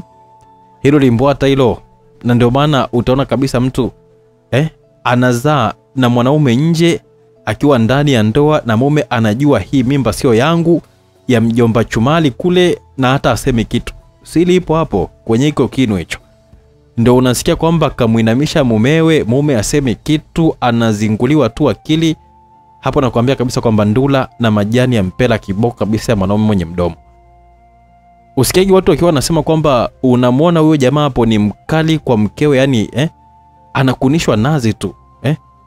au kwa, kwa mkewe aseme kitu au kwenye kikao akija mkewe tu jamaa haongei tena anakuwa ni kama vile bubu mpaka mnasema kwamba eh, ukitaka fulani aongee mpaka afuane mkewe asiwepo yani unajua nini? Limbwateo ya nduru bwana na majani ya mpela. Wengi wanajua kabisa kwamba limbwata la chumvi ya mawe hivi na kitunguu saumu kwa sababu uh, wanataka wamiliki tu kipato cha mumewe.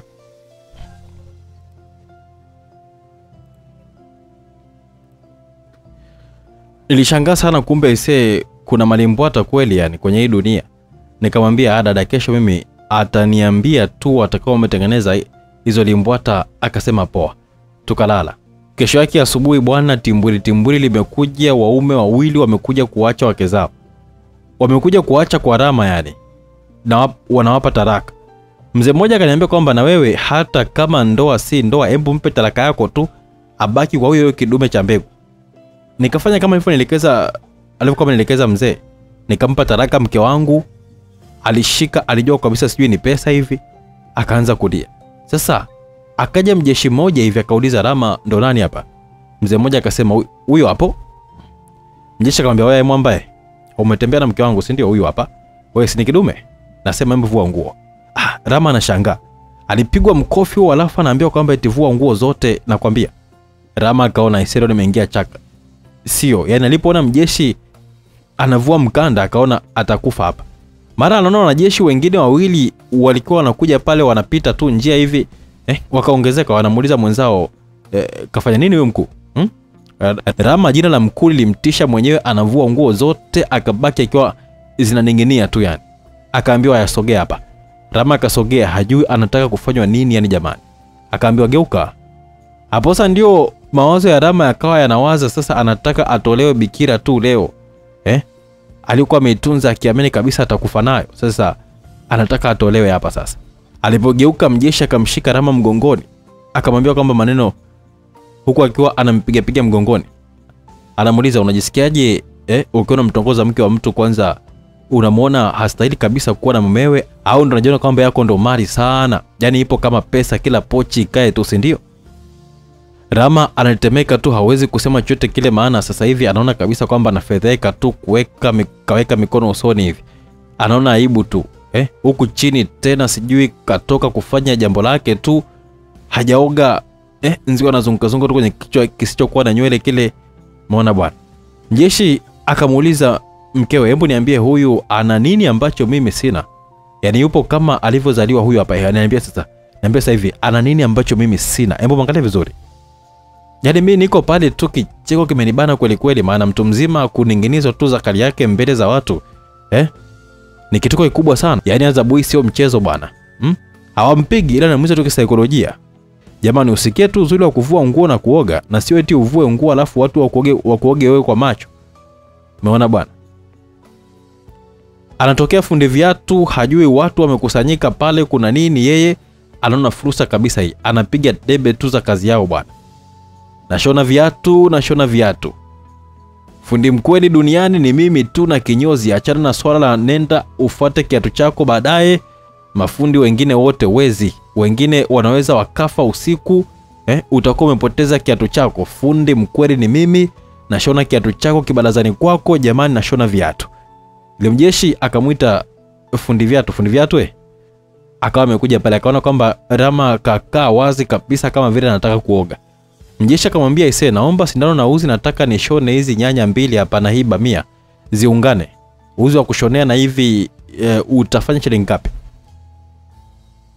rama aliposikia kwamba anataka kushonwa sehemu zake za siri akaona ise bora akimbizwe kama alivyozaliwa kuliko kushonwa sehemu zake za siri. Rama akatoka spidi hakuna mtu ambaye aliweza kabisa kuvumilia kucheka ise kila mmoja alicheka kimpango wake. Jeshi akasema sasa hivi wanawake wote mliotembea na Rama, huyu hapa kijana eh, kwa mama yake tunapajua kabisa kijini kwao. Wote msubiri gari hapa mnapelekwa mtajua wenyewe kama mtakimbia kule kijiji, basi mjini mtajua kwa- kukaa wapi. Kweli bwana gari likaja. Wakajazwa mule kama mbuzi yani. Mpaka mkewe akamwambia kabisa ingia ingia uende uende kwa mkweo. Ninyi si hamtaki kabisa kutulia kwenye ndoa zenu. Kaeni tu na wenye, wenye, tab- wenye tabia kama zenu hapo zinafanana. Sasa ise nilipoona nguvu yalimbwata dada mmoja akasema mbona mama mwenye nyumba hivi haingii? Na yeye sikatembea na rama? Baba mwenye nyumba akaja juu swala langu mimi na mke wangu tumeshamaliza. Nampenda mke wangu mimi tena sipendi kabisa lizungumziwe tena. Dada akaniangalia akaniambia umeona sasa? Limbwata hiyo kimya kimya. Na mimi nikamjibu aisee kimya kimya nimeona kweli aisee. Basi wale wakapakiwa wakaondoka kijijini kwa kalandinga. Kumbe bwana mchomeshaji yani aliyekuwa ame- anapajua kijiji kwa kinalama, ni rafiki yake wa karibu kabisa na yeye imemuma Rama kutembea na demu wake. Sasa Rama na yeye akaomba msaada mbele ya safari hivi amekimbilia kijijini kuficha tu aibu yake. Na wanawake zake wote wanaenda kijijini tu kwa mama yake wote wapo njiani sijui sasa itakuwaje huko. Upande wa bosi bosi wangu mimi kumbe baada tu ya kumaliza mambo yake kule china akaenda nchi ambayo alikuwa anasoma amina. Wakakutana huko na amina ndo alikuwa na rafiki wa dada ambaye ndo faida. Sasa bosi akampenda amina amuoe amina akamwambia kama bosi sawa. Ila jibu nitakupa tu nikiwa niko ndani ya nchi yetu tanzania kwa sababu sasa hivi ndo nimeshamaliza masomo yangu na nina furaha sana kwenye moyo wangu eti. Kuna rafiki yangu tanzania anaitwa faidha mama kaniambia kwamba kaongea naye huyo ndo ambaye nitaenda kumwomba ushauri kwanza juu ya mimi na wewe. Bosi akasema sasa kwa nini sasa umwombe huyo swala lako wewe alafu eti si swala la kwamba eti ni wapenzi tu ni swala la mimi na wewe kuwa mke na mume. Mimi naona kabisa kwamba ingelikuwa ni busara zaidi kama ungemwomba mama si rafiki yako. Amina akasema kwangu faidha ndo kila kitu. Hmm? alinifundisha vitu vingi sana yani mpaka nimefika hapa. Aliambia tamaa inaleta maradhi na asila pia inakuletea kifungo. Asa bosi maneno yale yakamfanya akumbuke amkumbuke dada akamuuliza amina wewe rafiki yako yupoje yupoje hivi amina akasema ni siku nyingi sana sijamuona siwezi kabisa kumjua. Yupoje yupoje hivi? Basi bosi akasema sawa naomba tu basi ukifika utani unikutanisha naye nimuone rafiki yako huyo mkubwa ambaye yeye ndio kila kitu kwako. Sawa amina? Amina akasema sawa itakuwa ni vizuri ili anipe jibu sahihi kabisa. Kweli bwana amina na bosi wakaagana kihivyo amina akarudi tanzania akaonana mama yake wakafurahi sana. Eh? Walala kwa furaha sana alafu kesho yake wakawa wanakuja mjini tulipokuwepo sisi. Sasa huku mdogo wa dada ndo alikuwa kachaluka kwelikweli mimi nikawa nimeenda kazini. Bosi nishaongea naye kabisa kanipa pole kaniambia kwamba embo msikilize sana dada yako. Achana kabisa na asila sio nzuri. Ila nina habari njema kabisa nimepata mchumba ise nje. Ila jibu napata huko ndani ya tanzania nikija tu hapo tutaongea na kuja kesho sawa nikafurahi sana. Na bosi arudi bwana nimwambie kwamba mimi wazo la kuweza kumtaka dada we mke wangu limesha kufa kabisa. Sio kwa sababu tu eti ana mimba hapana. Bali upendo wake ni zaidi kabisa ya mke. Anapaswa kabisa kuwa dada yangu kweli. Upande wa dada mwenyewe alikuwa nafua na mdogo wake akawa nafua dada akamsalimia mdogo wake haiteki kabisa. Anamwambia kwamba hawezi kuongea na mtumwa yeye. Dada akaanika nguo kwenye kamba. Mdogo wake akamsubiri dada anike nguo zote ili akakate kamba nguo zianguke chini. Kweli kabisa alifanya hivyo nguo zote zilianguka chini. Dada akamuuliza za, zabibu una nini lakini na mimi? Hivi unajisaulisha eh? zabibu alienda kumkata kibao dada cha mdomo. Alafu akamwambia kwamba hebu koma kabisa kunita hilo jina wewe wewe mwenyewe hapo unajisaulisha. Mimi ndio mama mwenye nyumba hapa. Nafua na wewe unafua. Eh, hujawahi sikia kwamba mwenye bomba hakai foleni wewe umepata wapi kiburi cha kuanza kumfanya mama mwenye nyumba asubiri tu nguo, nguo zako zikauke ndo ani, nianike za kwangu? Akamkata kibao kingine. Muda huo amina na mama yake ndo alikuwa anaingia amina anamwona rafiki yake anapigwa alafu yule eh, mdogo mtu anasema kwamba yeye ndo mama mwenye nyumba pale. Amina alisema wewe unampiga faida? mdogo wa dada akasema kwamba we nani? Hmm? unakuja kwa nyumba yangu hapa huku ukiwa unanifokea mimi? Nyang'au mkubwa wewe. Mamina akashindwa kujizuia kabisa asila zake baada ya kuona kwamba mwanaye katokana na tusi zito sana yani alimkamata zabibu. Eh? mama amina alishika mdogo wake dada vizuri kabisa anataka kumpiga kwa sababu tu kamtukana amina nyang'au. Wakati akiwa namkunja vizuri mama amina kageuza mgongo mlango wa baba mwenye nyumba vile baba mwenye nyumba bwana kakurupuka hajui nani ambaye kamkunja mkewe. Akaja na bakola akamweka bakola ya mgongoni mama amina huku akiwa anasema kwamba wewe mwanamke mpumbavu sana. Unataka kabisa umpige mke wangu umeona wapi mbwa? Eh, anapigwa kwake. Mama amina aligeuka sasa unasema? Baba mwenye nyumba bwana anaiona sura ya mama amina. Mama mwenye nyumba kabisa kamili yani sio mwenye nyumba wa kuambia tu kwamba angalia nyumba. Baba mwenye nyumba haja ndogo ilimtoka pasipo kujitambua yani kampiga bosi wake. Asadada akamwambia mama amina kwamba naomba mama usichukue hasira sana. Unaweza kabisa ukapata kesi ya mauaji kwa sababu tu huyu hapa hajajua dunia ni nini halafu anaamini kila mmoja ana uwezo kabisa wa kuweza kumod. naomba umwache tu alafu hebu simama kwenye kumnyosha tu kiakili sana ajue dunia ni nini. Mama akamwacha bila alijua kabisa kwamba dada alikuwa anamaanisha nini pale alipomwambia kwamba mnyoshe kwa akili ili ajue dunia ni nini. Akamgeuka mwenye nyumba akamwambia kwamba wewe naomba uondoke sasa hivi kwenye nyumba yangu. Yaani muda huu nikitema mate asikauke uwe ulishatoka kwenye hii nyumba kwa sababu hauna kitanda wala godoro ni rahisi sana wewe kuweza kuhama hapa. Nenda kafate begi lako tu ndani huko. Ba mwenye nyumba bwana hakuna chalimbwata wala nini. Eh? akili ilikuwa imemkaa sawa sasa akajiliwaza kwamba anaenda wapi.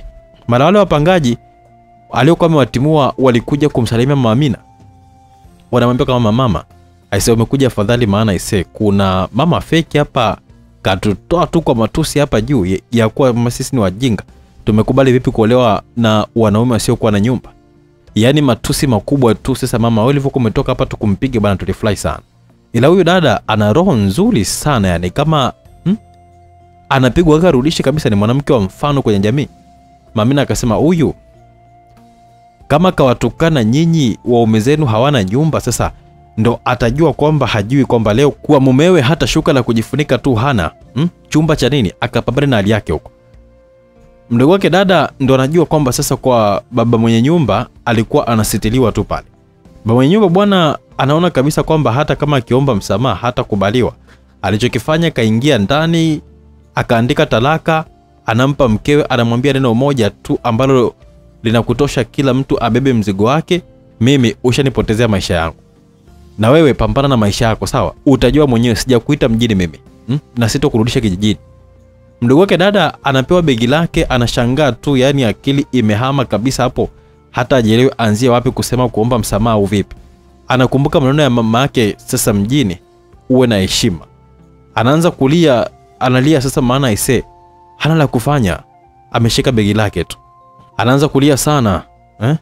Amina akamwambia Faidha, besti wangu, aise, kesho nitakuja hapa tuongee kiurefu zaidi, maana nina mengi sana ya kuongea na wewe, ila ndo hivyo, muda wa leo ni mdogo sana. Leo na kutambulisha tu, huyu hapa ni mama angu na hii hapa ni nyumba yetu. Yani nikisema yetu ni mimi na wewe, yani kwa maana mimi niko peke yangu. Waga mama namwitaga mama Faidha ili mama ajue kabisa kwamba ana watoto wawili, mimi na wewe na yeye aliitika hilo jina na leo hii amekuona faida wewe yani ni zaidi kabisa ya rafiki na kuja kesho kuwa na amani kabisa kwenye moyo wako tu nimefurahi sana kukuona faida dada akamwambia hata mimi nimefurahi sana kukuona rafiki yangu. Wewe ndio rafiki yangu kwenye maisha yangu amina. Sisemi mengi namalizia neno moja tu kwamba amina nakupenda.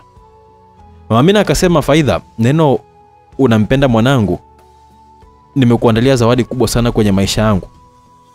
Atakayempenda mwanangu nitampa mara mbili yani wewe na kupenda kabla hujasema hilo tu neno. Na hilo limezidisha kabisa upendo kwangu kuja kwako. Mama mina akamwambia wapangaji wake kwamba kama kuna mtu anataka kurudi kwenye nyumba hii hapa ruksa rudini. Na nyumba hii sina mengi kabisa. Kesho nitaongea sawa? Neno lilikuwa limewapa maswali magumu sana wapangaji wakisema kwamba kwenye mioyo yao kuwa nyumba anataka apewe faida. Itakuwa ndio maana mama mwenye nyumba hata hajamalizia. Mama mwenye nyumba bwana akamwambia Faidha kwamba kesho mwambie kaka yako kwamba nakuja usiku nisubiri, sawa? Anisubiri, umesikia? Dada akamwambia sawa, wakaondoka. Asa mdogo wake kwa mara ya kwanza kabisa anamwita dada dada, yani jina alimwita siku ambayo aliyokuwa amekuja mjini. Baada ya hapo akawa anamwita tu mtumwa. Salewi, anamwita dada dada hakuitika akawa anaondoka tu kwenda kuokota tu nguo zake aweze kusiuza tena aanike mdogo wake akamwita dada usiokote nguo mimi nitaziokota tu na nitazisuuza. Dada akasema kwani unaongea na mimi? Mimi um, maana ise sikujibu sababu unaniita jina sio langu. Mimi ni mtumwa. We dada yako yupo wapi sasa? Na mimi eh, naanua nguo nasubiri kwamba wewe tu mwenye nyumba nguo zako zikauke. Ndio nami nitaanika. Maneno yalimfanya Zabibu aanze kulia sasa, maana dada akaongea maneno ambayo yamemchoma sana. Anaanza kuomba samahani tu, anatumia neno dada, mimi mdogo wako nisamee, mimi nitaenda wapi na mjini hapa, mimi ni mgeni. Kabla dada hajaongea, kuna mzee mmoja hivi akamshika mkono Zabibu akamwambia kwamba we, hem, twende huko. Zabibu kama kavulugwa vile, akawa anamfuata yule mzee, kumbe mzee bwana anampeleka kwa mumewe ambaye alikuwa ni babu mwenye nyumba. Mumewe kumbe kaenda kwenye jumba la mwenda wazimu kule kulala kwanza kutuliza mawazo. Akapelekwa pale pale. Mzee akasema huyu hapa ni mumeo. Hebu timiza shati la taraka eh, la kukaa eda kara mumeo hapa, huyu hapa. Sawa. Zabibu alichanganyikiwa, akakaa pale. Yaani wote wamekaa hawasemeshani kabisa, kila mmoja ana mawazo yake. Usiku ukawafikia pale pale, Zabibu akaona boksi, ngoja akalie. Kumbe boksi bwana mwenda wazimu, na baba mwenye nyumba, kumbe bwana alikuwa anamvizia tu alale aweze kumtoroka. Kweli amelala Zabibu kwenye chaka la mwenda wazimu. Mzee huyo akaondoka zake tu, akasema hapa naenda kulala stendi, kesho niende zangu kijijini kwetu tu, siwezi kabisa kufezeka mjini hapa mimi. Asa mwendawazimu karudi kwenye chaka lake tu pale, kaona binti kalala, akasema afadhali eh, huyu ni mbake, nina hamu kweli kweli, yani maana wanawake wote hawaji na nguo fupi sokoni bwana. Akamvua nguo kwa nguvu stahili akijichiza. Bibo anasema kwamba wewe si umenipa talaka, hebu niache bwana, nakwambia. Akili yake ni baba mwenye nyumba wa zamani, yani yule mumewe. Sasa anashangaa tu nguvu zilizokuwa zinatumika sio zenyewe. Akavuliwa nguo mwenyewe, anasema kwamba basi, hebu subiri basi nikupe ushirikiano, usije ukaniua mimi hapa. Mwendawazimu akamtanua miguu yake Zabibu, alafu eh, akachukua kichwa kisichokuwa na nywele pale akakilengesha kwenye sehemu ya mlango mkuu kabisa wa uzazi eh? akawa anaingiza. Zabibu anashangaa kwamba usukumaji wake ile nje ndani nje ndani, si step kwa step, hajui kama anafanya mapenzi na chizi alafu chizi mapenzi. Akamwinamisha kichwa kisichokuwa na nywele akipeleka panapolia mbui. Zainabu akasema utanichana we mkaka. Ndipo akasikia mtu akiwa na unguruma kama simba, yani haongei kabisa. Ndipo akajua kwamba anafanya mapenzi na mwendo wazimu. Sasa anataka ajikwamue tu kutoka mikono ya mwendo wazimu ili asipenyezewe tu ndani hapo sasa yani eh? Upande wa Rama anafika anakuta mama yake analia tu, anasema kwamba mwanangu, toka toka, sitaki kabisa nikuone wewe. Sio wa kutembea na mamako mdogo, unataka mimi nikuite kwamba wewe ni shemeji au nakwambia embu toka toka toka, sitaki kabisa nikuone kwangu. Rama anasikia hodi hodi hodi hodi, anageuka anaona kwamba wake za watu wote wamemfuata, akashtuka. Sasa kichwa kikawa kinamvurugika kabisa, yani kakuta tatizo limeongezeka tatizo ile anataka akimbie tu, akakamatwa na wale wanawake wanamwambia kwamba mwambie mama yako si ni nani. Rama akawa yupo kwenye mtihani mkubwa, sasa afanyeje? Yani Rama akawa kwenye mtihani mzito sana, anataka kukimbia, wale wanawake zake wakamkamata, Waka wakamwambia kamwambie mama kwamba sisi ni nani. Mama yake akawa anashangaa tu, mara dereva aliyekuwa amewaleta wale wanawake ni mwanajeshi eh? katumwa na mkuu wake, na kule kuna kambi ya jeshi. Sasa dereva akamwambia mama, huyu hapa mwanao anajifanya kwamba gari yake ni daladala, yaani kila mmoja anayo haki kabisa ya kuweza kumpakiza. Anatumia fimbo yake vibaya sana huyo. Hao unaoona wote hapa wake za watu hawa wameshaachwa na waume zao, chanzo ni yeye tu. Maana tunafika tunasikia kwamba na wewe unamfukuza katembea na mamake mdogo. Mama huyo hapa ni kijana mdogo sana, akafanya ujinga mkubwa sana, ila sasa wewe usipate tabu, atanyoka tu yuna. Naomba ukatuitie mwenyekiti wa kijiji. Mara mwenyekiti anakuja mwenyewe, kaona gari limeingia pale kwenye kijiji chake pasipo taarifa juu yake eh, maana kule kuna sheria zao wanazijua tu wenyewe eh. Alipofika pale mwanajeshi akamwambia yote, akaomba pole la serikali, akatiwe lama, akate miti, alime, awalishe wake zake wote, na wakati akiwa analima atalima chini yake yeye, atakaa naye mwanzo mwisho kabisa, namsimamia. Akasema kwamba wewe utanyoka tu, umetembea na mke wa mkubwa anasema kwamba anataka hizo nguvu unazotembea na wake za watu hizo uzitumie shamba, kwa sababu pale ni karibu na jeshi, na yule mwanajeshi mke wake lama kamtafuna eh, ni mkubwa. Alisema kwamba liletwe hema eh, likaletwa, ilikuwa ndio nyumba ya wale wanawake waliokuwa ni kama maonyesho pale yani. Rama akaambiwa kwamba nakupa chakula, na wakati wa wanakula wake zake, yeye kazi yake itakuwa ni kulima tu chini ya yule mwanajeshi. Sasa hawa wanawake hawali mpaka watwange mjini, walishazoea kutwanga kitunguu swaumu tu. Kule kuna mahindi ukoboe kwa kutwanga ndio upate kande. Kuna miogo imekauka eh, inaitwa makopa, itwangwe ndio ipatikane unga. Kazi wanayo, walishazoea gesi mjini, kule ni kuni tu. Sasa wakaanza kujuta moja moja, kimya kimya kabisa kwenye moyo wake, bora kama angetulia tu kwenye ndoa yake. Mke wangu na mimba ile, akili ilikuwa imemkaa sawa. Sasa maji masafa kuchota, ukienda kisimani ukoge huko huko, ukirudi nyumbani na maji kwa ajili ya matumizi mengine. Sasa wakienda kisimani, wahuni wa kijijini pale wanaenda kuwachungulia tu maraya wa mjini, wenyewe walikuwa wanawaita hivyo. Sasa na mama wa kijiji walikuwa wamewatenga kabisa, wanaona kama vile ni watu wasiofaa kabisa kwenye jamii, wanaishi maisha mabaya sana kwa upande wao. Rama yeye haruhusi kulala kwenye hema, yana alitoa chakula huko huko, kazi moja tu ni kulima tu, kukata miti, kusimamiwa na ule mjeshi Saa kumi na mbili asubuhi anaingia shamba kumaliza mpaka giza liingie. Anapomaliza ndipo anapolala hapo hapo. Hamna shuka, hamna kuoga, hamna kubadilisha nguo. eh?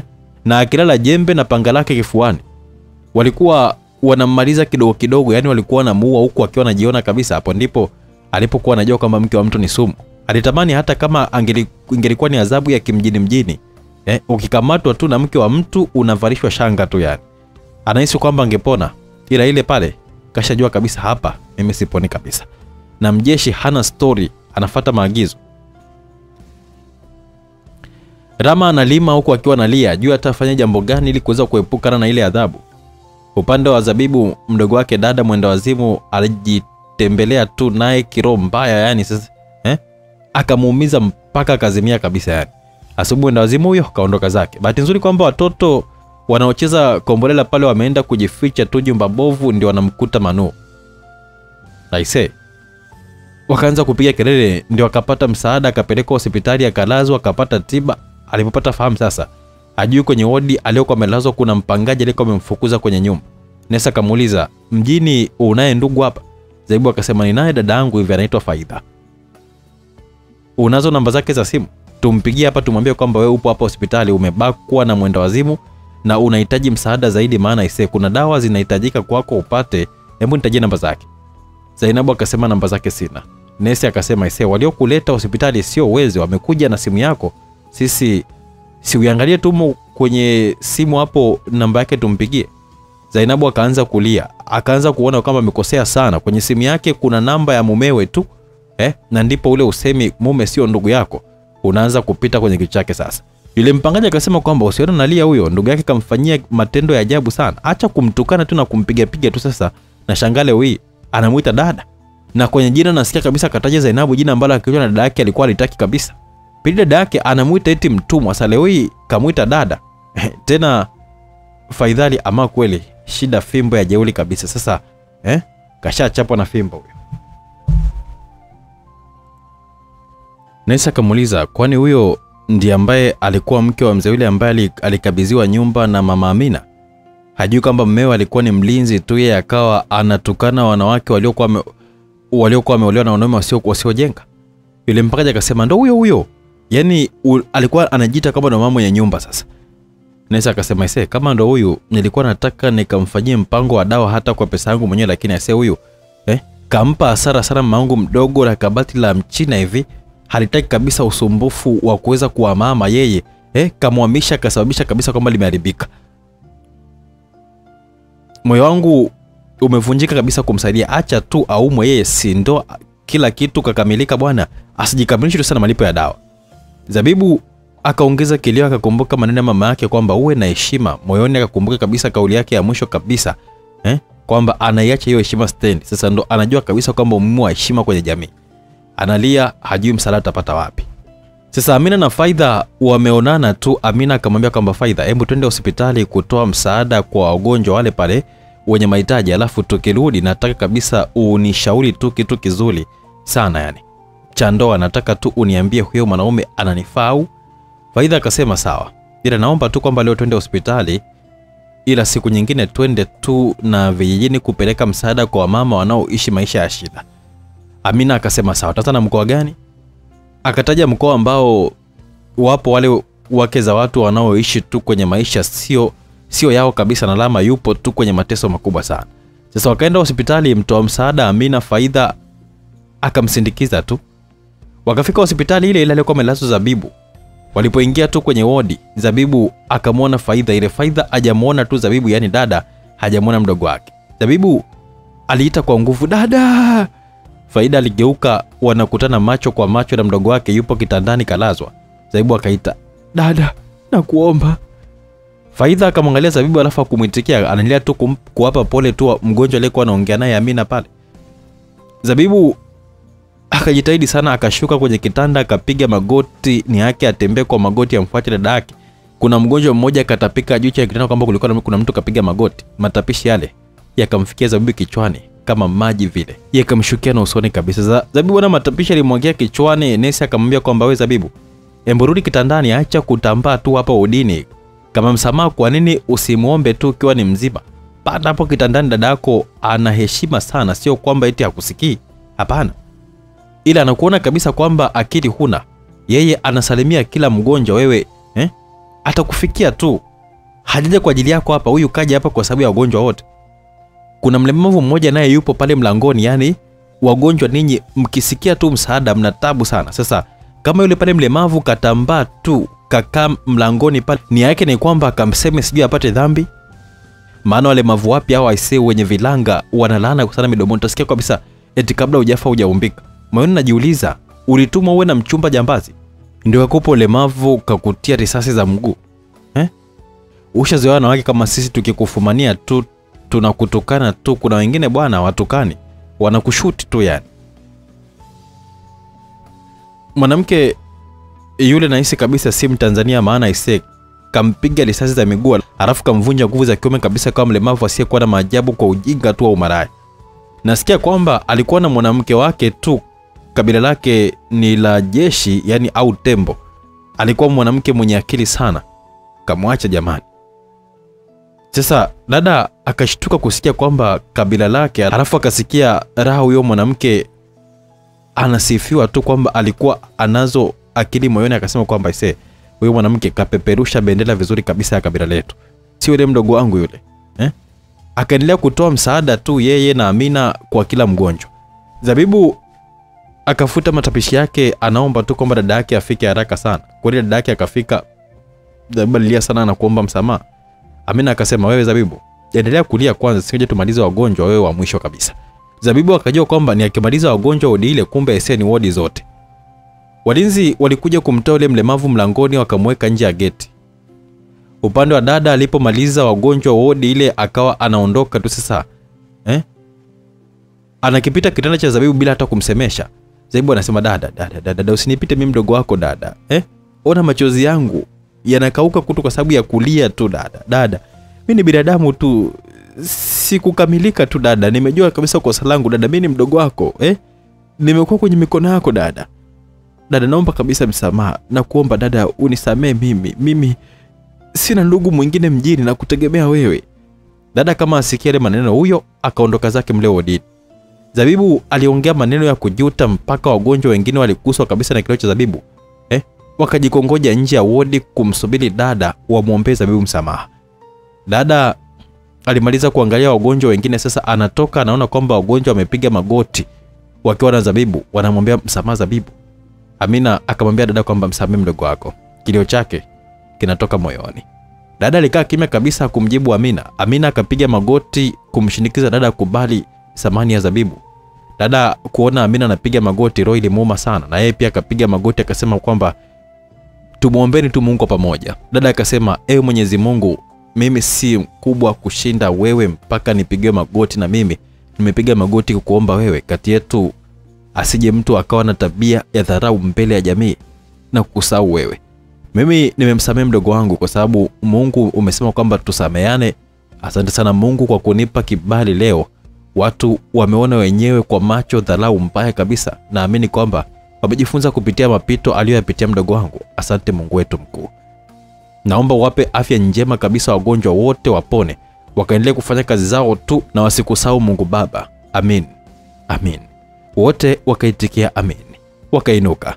Amina akamwangalia sana faidha akaona yupo sahihi kabisa kuwa na rafiki faidha akajipongeza kwenye moyo wake akasema moyoni angelikuwa mwingine hapa angetuna kwa sababu amepigiwa magoti lakini faidha na yeye amepiga magoti.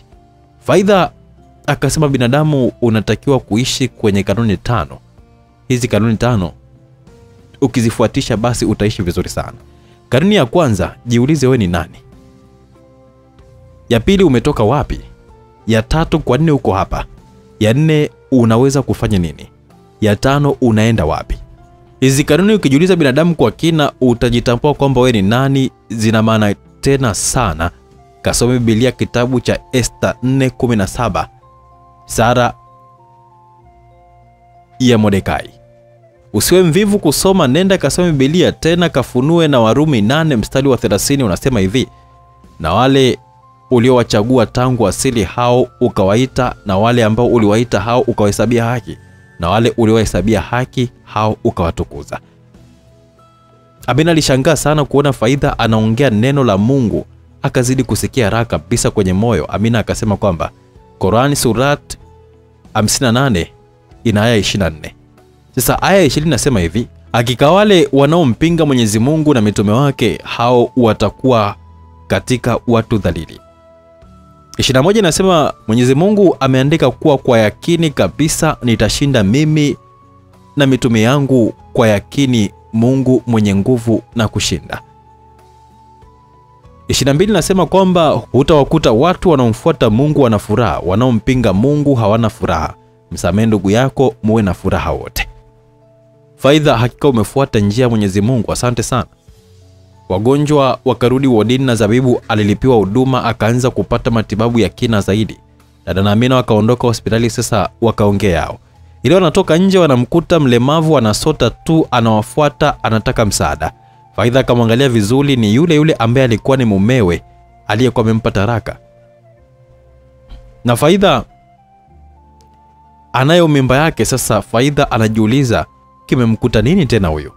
Mlemavu ye anaomba tu hamwangalii mtu usoni. Sasa alipomsogelea karibu anayemwomba msaada na kopo lake ndio aliponyanyua uso anamwona mkewe aliyekuwa amemwacha.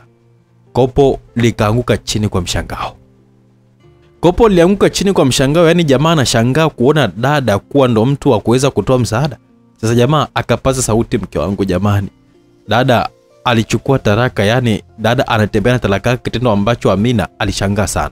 Akamuuliza jamaa huu hapa ni mwandiko wa nani? Jamaa akasema wa kwangu mimi mke wangu. Dada akamwambia soma hapa. Jamaa anasoma kweli ameandika mwenyewe kwamba kuanzia leo si mke wangu nimekuacha kwa akili yangu timamu. Kabla hata hajaendelea dada akasema kwamba inatosha ukome kabisa kunita mimi mke wako. Hii hapa ni talaka. Umenipa wewe chukua shilingi elfu kumi hapa msaada wangu. Kama ambavyo ulivyozamilia kuomba msaada. Hukujua kabisa kwamba utaniona mimi.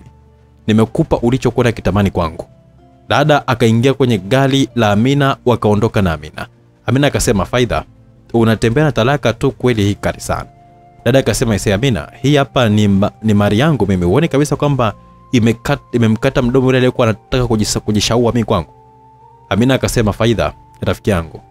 Tuachane kabisa na hebu twende pale tukakae kuna mgeni hivi anakuja sasa. Kabla ajaja nataka tuongee kwanza maana anakuja na rafiki yake hivi ndio ali alivyokuwa ameniambia asamina akamwambia faidha kwamba yote ya bosi kuwa nataka muoe na mwendelezo mzima wa majibu alivyokuwa kwamba atampa atakavyokuwa amekuja kuchukua ushauri kwake. Faidha akasema asante rafiki yangu kwa kunipa heshima kubwa juu ya maisha yako rafiki yangu ndoa ni jambo la heri sana mbele ya mungu ila ndoa zenyewe ndio mtihani yaani ndo maana wahenga walisema ndoa ndoano. Yaani ndoa ndoano ni neno dogo sana ila ndani yake ili neno isiye kuna mengi sana unaweza ukajifunza kabla hujaingia kwenye ndoa.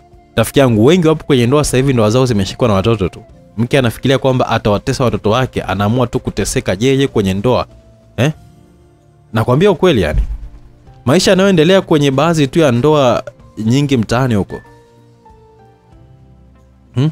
chengine ndoa inaweza ikaharibu kabisa mfumo mzima wa maisha. Mfano unaweza ukaolewa na mwanaume aliyekutamani si kukupenda. Hapa kinachofuata ni majuto tu baada ya mwanaume tamaa yake ya kimwili kwako kuisha. Hasa mwanaume mwenye kukupenda utamgundua tu kwa njia kuu mbili. Japo ziko saba. Moja kwanza kwenye maongezi yenu hawezi kuambia kwamba tu tu- tukalale kimapenzi kabla hata hajakuoa. yaani kama ana nia ya kuweza kuoa hawezi kabisa kuwa na akili ya wajinga wachache wenye usemi uwezi kabisa kuuziwa mbuzi kwenye gunia. Mwanamke sio mbuzi wanakosa adabu juu yetu. Pili mwanaume wa kweli utamjua tu pale atakapokuwa amekusisitiza tu kwamba na kuniletea barua kweli naomba kabisa uwasisitize wazazi watoe majibu haraka sana. Na mimi nawasisitiza wazazi wangu kuwa naisubiri majibu tu ili niweze nikuoe.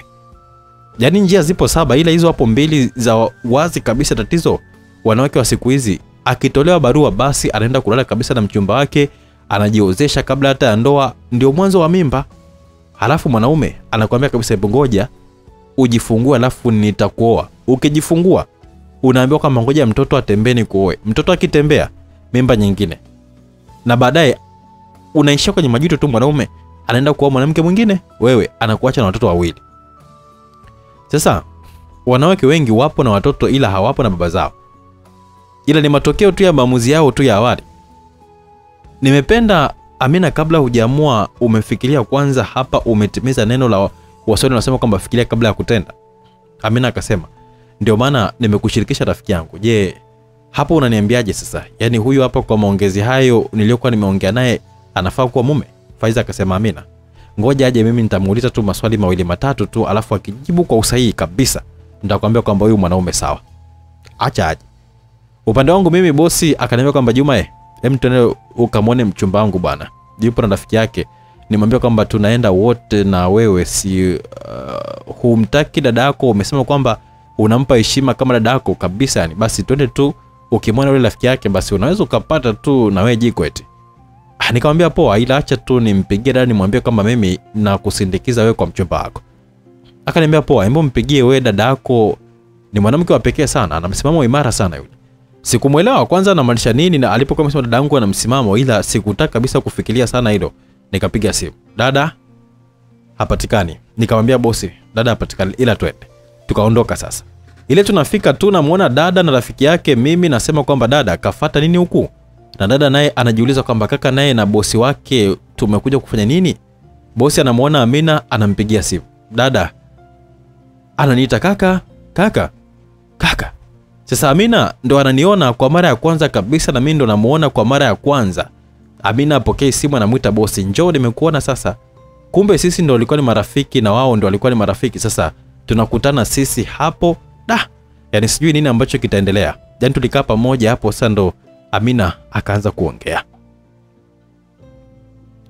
Amina ndo akawa amesimama na mtambulisha faidha kwa bosi na faidha naye akasimama akanitambulisha na mimi mimi moyoni nilishampenda amina eh? na hata kama sijui kitu gani ambacho kimeweza kunisukuma nimpende amina.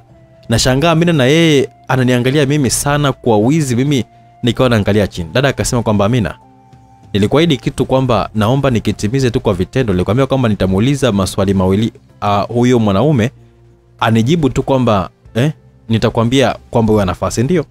Amina alijisikia aibu sana ile ya kike anaficha tu macho alafu anasema kwamba uliza tu si ndo huyu. Faidha akamuuliza bosi swali langu la kwanza je wewe ni mkweli? Bosi akasema ndio mi ni mkweli. Faidha akamuuliza je kuna kitu gani ambacho ulitaka kufanya kwa mwanamke bila liza yake tu mwanamke yoyote yule? Tuambie. Bosi alikaa kimya akaona bonge la swali jibu lake aisee alitaka kumbaka yeye mwenyewe faidha yani bosi wangu alitaka kumbaka dada. Bosi alianza kulia tu kwa akiwa anapiga magoti kwa dada amina na mimi tulikuwa tunashangaa tuna kwenye kushanga kwetu tunakuta kwamba tumeshikana mikono. Mawazo yangu yalikuwa nawaza ndoa tu nashangaa. Nawaza amina ndo kwamba ndo mke wangu. Kumbe mgusano ule amina bwana na yeye akawa nawaza ndoa tu na mimi e, sijui ni nguvu gani ambayo ilikuwa imetuunganisha. Nashangaa amina niambia juma juma. Halafu hata ongei na mimi nikawa namuita amina. Amina. Alipoitika tu sikuweza kuongea. Namwangalia tu. Bosi akasema faidha mimi nisamee faidha kama utojari nahisi kabisa kwamba eh, nakosea ila wewe mimi nahisi kabisa ndo chaguo langu. Na kupenda nitalea mimba yako. Na kizazi chako kuna nguvu kabisa ambayo inanisukuma nikuambie ukweli. Maneno yale yakamfanya amina aniambie juma nakupenda. Hata mi sielewi juu yako yani. Nashangaa dada na msimamo wake wote kamkumbatia bosi. Ah, na mi sikuvunga ise nikamkumbatia amina. Picha likabadilika. Mimi nikawa na amina dada akawa na bosi. Dada akasema tuende basi kwenye viji vyetu kule waliokuwa kwenye hali ngumu sana. Kweli bwana tulienda na shangaa kuna nguvu inaniambia kwamba amina ndo mke wako mwambie ukweli tu wa maisha yako. Ah, nakuta namwambia ukweli amina tupo kwenye gari lake. Sasa hapo ndipo dada akasema kaka mi ni dada yako ila naomba kabisa kitu kimoja kitu kimoja tu. Kuna moyo unanisukuma unaniambia kwamba ile mimba yule mwanamke aliyejiwezesha pale ni yako. Kama ni yako mtoto anamako, hana makosa naomba kabisa eh, umtafute ule ile mimba. Moyoni niliumia. Dada anataka kabisa kuniharibia sasa mimi nishampata amina hapa. Nampenda ye anaanza kabisa kufukua makaburi. Akaendelea kaka amina amekupenda pasipo shaka ndani yake na, na kuomba kabisa na kuomba eh, uniambie kwamba upo tayari kwenda kumtafuta yule binti ili ulee mimba yako. Kabla sijamjibu kumbe tupo kwenye hicho kijiji alipokuwa huyo mke wangu. Naona mke wangu amebeba maji anajivuta huku miguu imevimba na mwili umepoteza nuru yake kabisa machoni. Yaani ni mtu ambaye alikuwa anaumwa ila hajapata kabisa msaada wa matibabu mimi nilishtuka sana. Nikamwambia amina simamisha gari. Amina akasimamisha gari nikashuka mke wangu akaanza kulia huku akiwa ananiita juma juma juma. Naomba unisamee nisaidie mwenzio nipo kwenye wakati mgumu sana mimi wenzangu wapo huku. Kweli aise tuliyomkuta nayo mke wangu mwanamke yeyote mwenye kujua ubinadamu ni lazima tu alie. Hmm? dada alilia amina naye kalia tukaenda mpaka walipo wenzao tukaona wapo kama msibane kumbe aisee rama anaumwa sana alafu yule mjeshi kasema kwamba asipewe msaada. Halafu akaondoka wao wakaanza kabisa kusikia huruma ile ya kibinadamu ila wao wenyewe wanatia huruma maisha yao. Gari ikaja na waume zao wakiwa wanaongozwa na mjeshi mjeshi akaja kumchukua mkewe. Na wale wengine wamekuja kuwachukua wake zao. Walikuwa wamewapa onyo kwa vitendo wote waliapa kabisa kuwa wake wema mama mzazi wa rama alikuja kumwangalia mwanaye anaona jinsi alivyo akamwambia rama unaona faida ya umaraya yaani umaraya upo kama sigara ukivuta inaisha sigara ila inakuacha na ugonjwa. Hakuna unachobaki nacho tu kwenye sigara zaidi ya ugonjwa. Sasa ona wanawake wote wamekuja kuchukuliwa na wamezaa. wewe nani atakayeweza kuchukua? Wenzio wataenda kupima wake zao tu afya maisha yataendelea. Wewe je? Rama analia tu kama mtoto mdogo kanyooka kabisa kama moja yani akaanza tu kuniita mimi juma na kuomba samani kabisa. Makundi sio mazuri. Ya vijana walinishauri vibaya juu ya dawa ya, kup, ya kupumbaza wanawake. Walionishauri leo hii siwaoni ambako dunia ina watu wanaopoteza. Watu wamenipoteza mimi. Nimetumia ujana wangu vibaya naombeni msamaha. Wanaume wenzangu wote mi ni mkosefu. Mjeshi akasema tumekusikia. Kumbe mjeshi alikuwa amekuja na dokta akashuka kwenye gari akamwambia kwamba hebu wapime wote hawa. Walipimwa bahati nzuri hawakuwa na ukimwi mjeshi akamwambia rama tumekusamee dokta atakutibu maradhi yako yametokana na kufanya kazi kubwa kuliko nguvu ya mwili wako. Ila utaishi huko kijijini mjini marufuku kabisa ukanyaga. Angalia mazao yako mheshimu mama yako. Mjeshi akasema mimi nimekusamehe. Mke wangu je? Wewe juma? Du aise bonge la mtihani. Nipo na amina hapa inayempenda alafu mjeshi kauliza swali gumu kwelikweli juu yangu mimi. Yaani mimi nimsamehe mke wangu dada akasema hivi. Hmm? si umeulizwa? Amina ananiangalia kwamba mimi je mimi nijibu nini sasa yani da nikashindwa nitoe jibu gani? Nikakumbuka kitu kwamba mjeshi ajui kuwa huyu hapa si mke wangu ila dada amesema kwamba nimsamee anahisi kwamba mimba ni yangu. Nikapata jibu japo moyoni sijui amina atalipokeaje jibu langu mimi nilisema tu kwamba mimi kama juma nimemsamehe huyo binti. Nitalea mimba yangu. Jibu lilimpa ukakasi mjeshi akasema kwa nini useme kwamba wewe kama juma we, usiseme wewe kama mume? Ndipo nilipofunguka sasa mwanzo wa ndoa yetu feki mpaka mwisho wa ndoa yetu feki. Wote walishika midomo yao tu alama za mshangao hapo hapo sijaulizwa. Nikamtangaza mchumba wangu amina mbele ya umma wa wanawake wasaliti wa ndoa. Wao ndo wameweka amina unyago hapo hapo yaani mke wa mjeshi akamwambia amina unaingia kwenye ndoa na kusi kabisa mpende mumeo usije ukamsaliti hata siku moja. Yaani mtu akikutongoza njoo umwambie mumeo. M- mume atamkomesha huyo mtu. Usije akakukuta aliyotukuta sisi. Amina ni aibu kabisa. Tunasikia aibu kweli kweli yani na aibu haitaisha kwa haraka kwenye maisha yetu japo tumesamehewa. Na mungu katuponya na ukimwi. Amina mpende mumeo na wewe msichana umesamewa lea mtoto wa juma vizuri. Huyo anayekuja mungu atakusaidia kabisa utajifungua salama. Wote bwana alimpa maneno amina. Hmm? amina akasema asanteni jamani mama zangu nitakuwa mke mwema. Mke wangu akarudi mjini sasa kuja kujiangalizia mimba. Kwanza tulimpeleka hospitali akapewa tiba tunarudi njiani tunamwona baba mwenye nyumba eh? yupo tu analima vibarua kachoka kweli kweli amina alimpa msaada baba mwenye nyumba yule ambaye alikuwa ni mlinzi wa nyumba yao.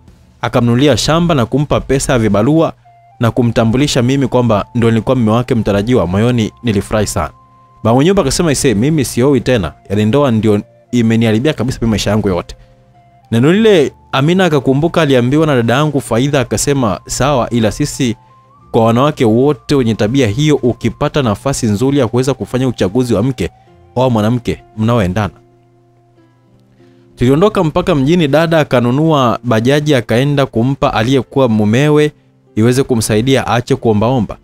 Dunia imemfunza. Alikana mwanamke jambazi alipomfumania tu akamchapa risasi za miguuni akamtia ulemavu na akamvunja nguvu za kiume. Jamaa alishukuru sana kwa msaada huo kwa sababu yeye dereva ilikuwa ni rahisi sana ku- kwenye maisha yake. Akasema kwamba nawatakia ndoa njema tu alimwambia dada na bosi Nyuma ya bajaji alikuwa ameandika kwamba usimtukane mwanamke kwenye maisha yako. Neno likawa linafanya watu wamuulize kwa nini umeandika hili neno, lina maana gani? Sasa akawa anatoa historia yake tu mwenyewe, akawa anawafunza vijana thamani ya mwanamke kwenye dunia. Ndio wakajua kwamba mwanamke anasamehe na anasahau na anao uwezo kabisa wa kuweza kusaidia. Mafunzo mazuri. Umemkimbia, hujalea mtoto wa kwanza, lakini ukarudi ukamwomba msamaha, mwanamke akakusamee na kukuzalia mtoto mwingine. Huyo ndo mwanamke, heshima kwake. Dada alimsaidia mdogo wake akajifungua salama zabibu, akawa ni mtu mwenye heshima sana kuliko wanavyofikiria sasa hivi eh? Alirudi kijijini akimfunza mwanaye heshima, kuthamini utu na ache dharau. Mimi mke wangu bwana akajifungua mtoto wa kiume alipokuwa na miaka miwili, akapata bwana akampeleka kwao kabisa kwenda kumtambulisha. Mimi akaniachia mtoto, yeye akaenda kuolewa. Mimi na Amina tulioana, bosi na dada wakaoana. Dada alijifungua mtoto wa yule jamaa, akamzalia bosi mtoto mmoja. Siku anajifungua na mimi Amina akawa amenizalia mtoto. Siku moja tulikuwa tumekaa dada kwenye fly yetu pale, akaniuliza hivi, wakati nakwambia kwamba ukamchukue mke wako ndani ya moyo wako ulikuwa unasemaje? Labda nilicheka nikamwambia, ise, nilikuwa nasema hivi, sawa dada, nimekusikia, ila da, nauma. Tulifurahi sana, maisha yanasonga mpaka leo kwa furaha kabisa. Basi mpaka hapo sina la ziada. Mtunzi ni Jogoo Poli, huyu bwana unampata kupitia 0657 774 735. Mimi director Owen kutokea hapa Simulizi Max. Ndani ya Simulizi Fupi by Simulizi Max unapata simulizi zetu fupi nzuri kila siku kutoka kwa waandishi mbalimbali na wasimuliaji mbalimbali. Hakikisha umesubscribe right now ili kuendelea kuburudika na simulizi nyingi na nzuri. Mimi ni director Owen, tukutane katika simulizi fupi nyingine. Hii ilikuwa ni dada. Eh, sawa, nimekusikia na nimekuelewa kabisa, ila da inauma. Ndio simulizi fupi yetu tunaimaliza kwa staili hiyo. Tukutane kwenye nyingine.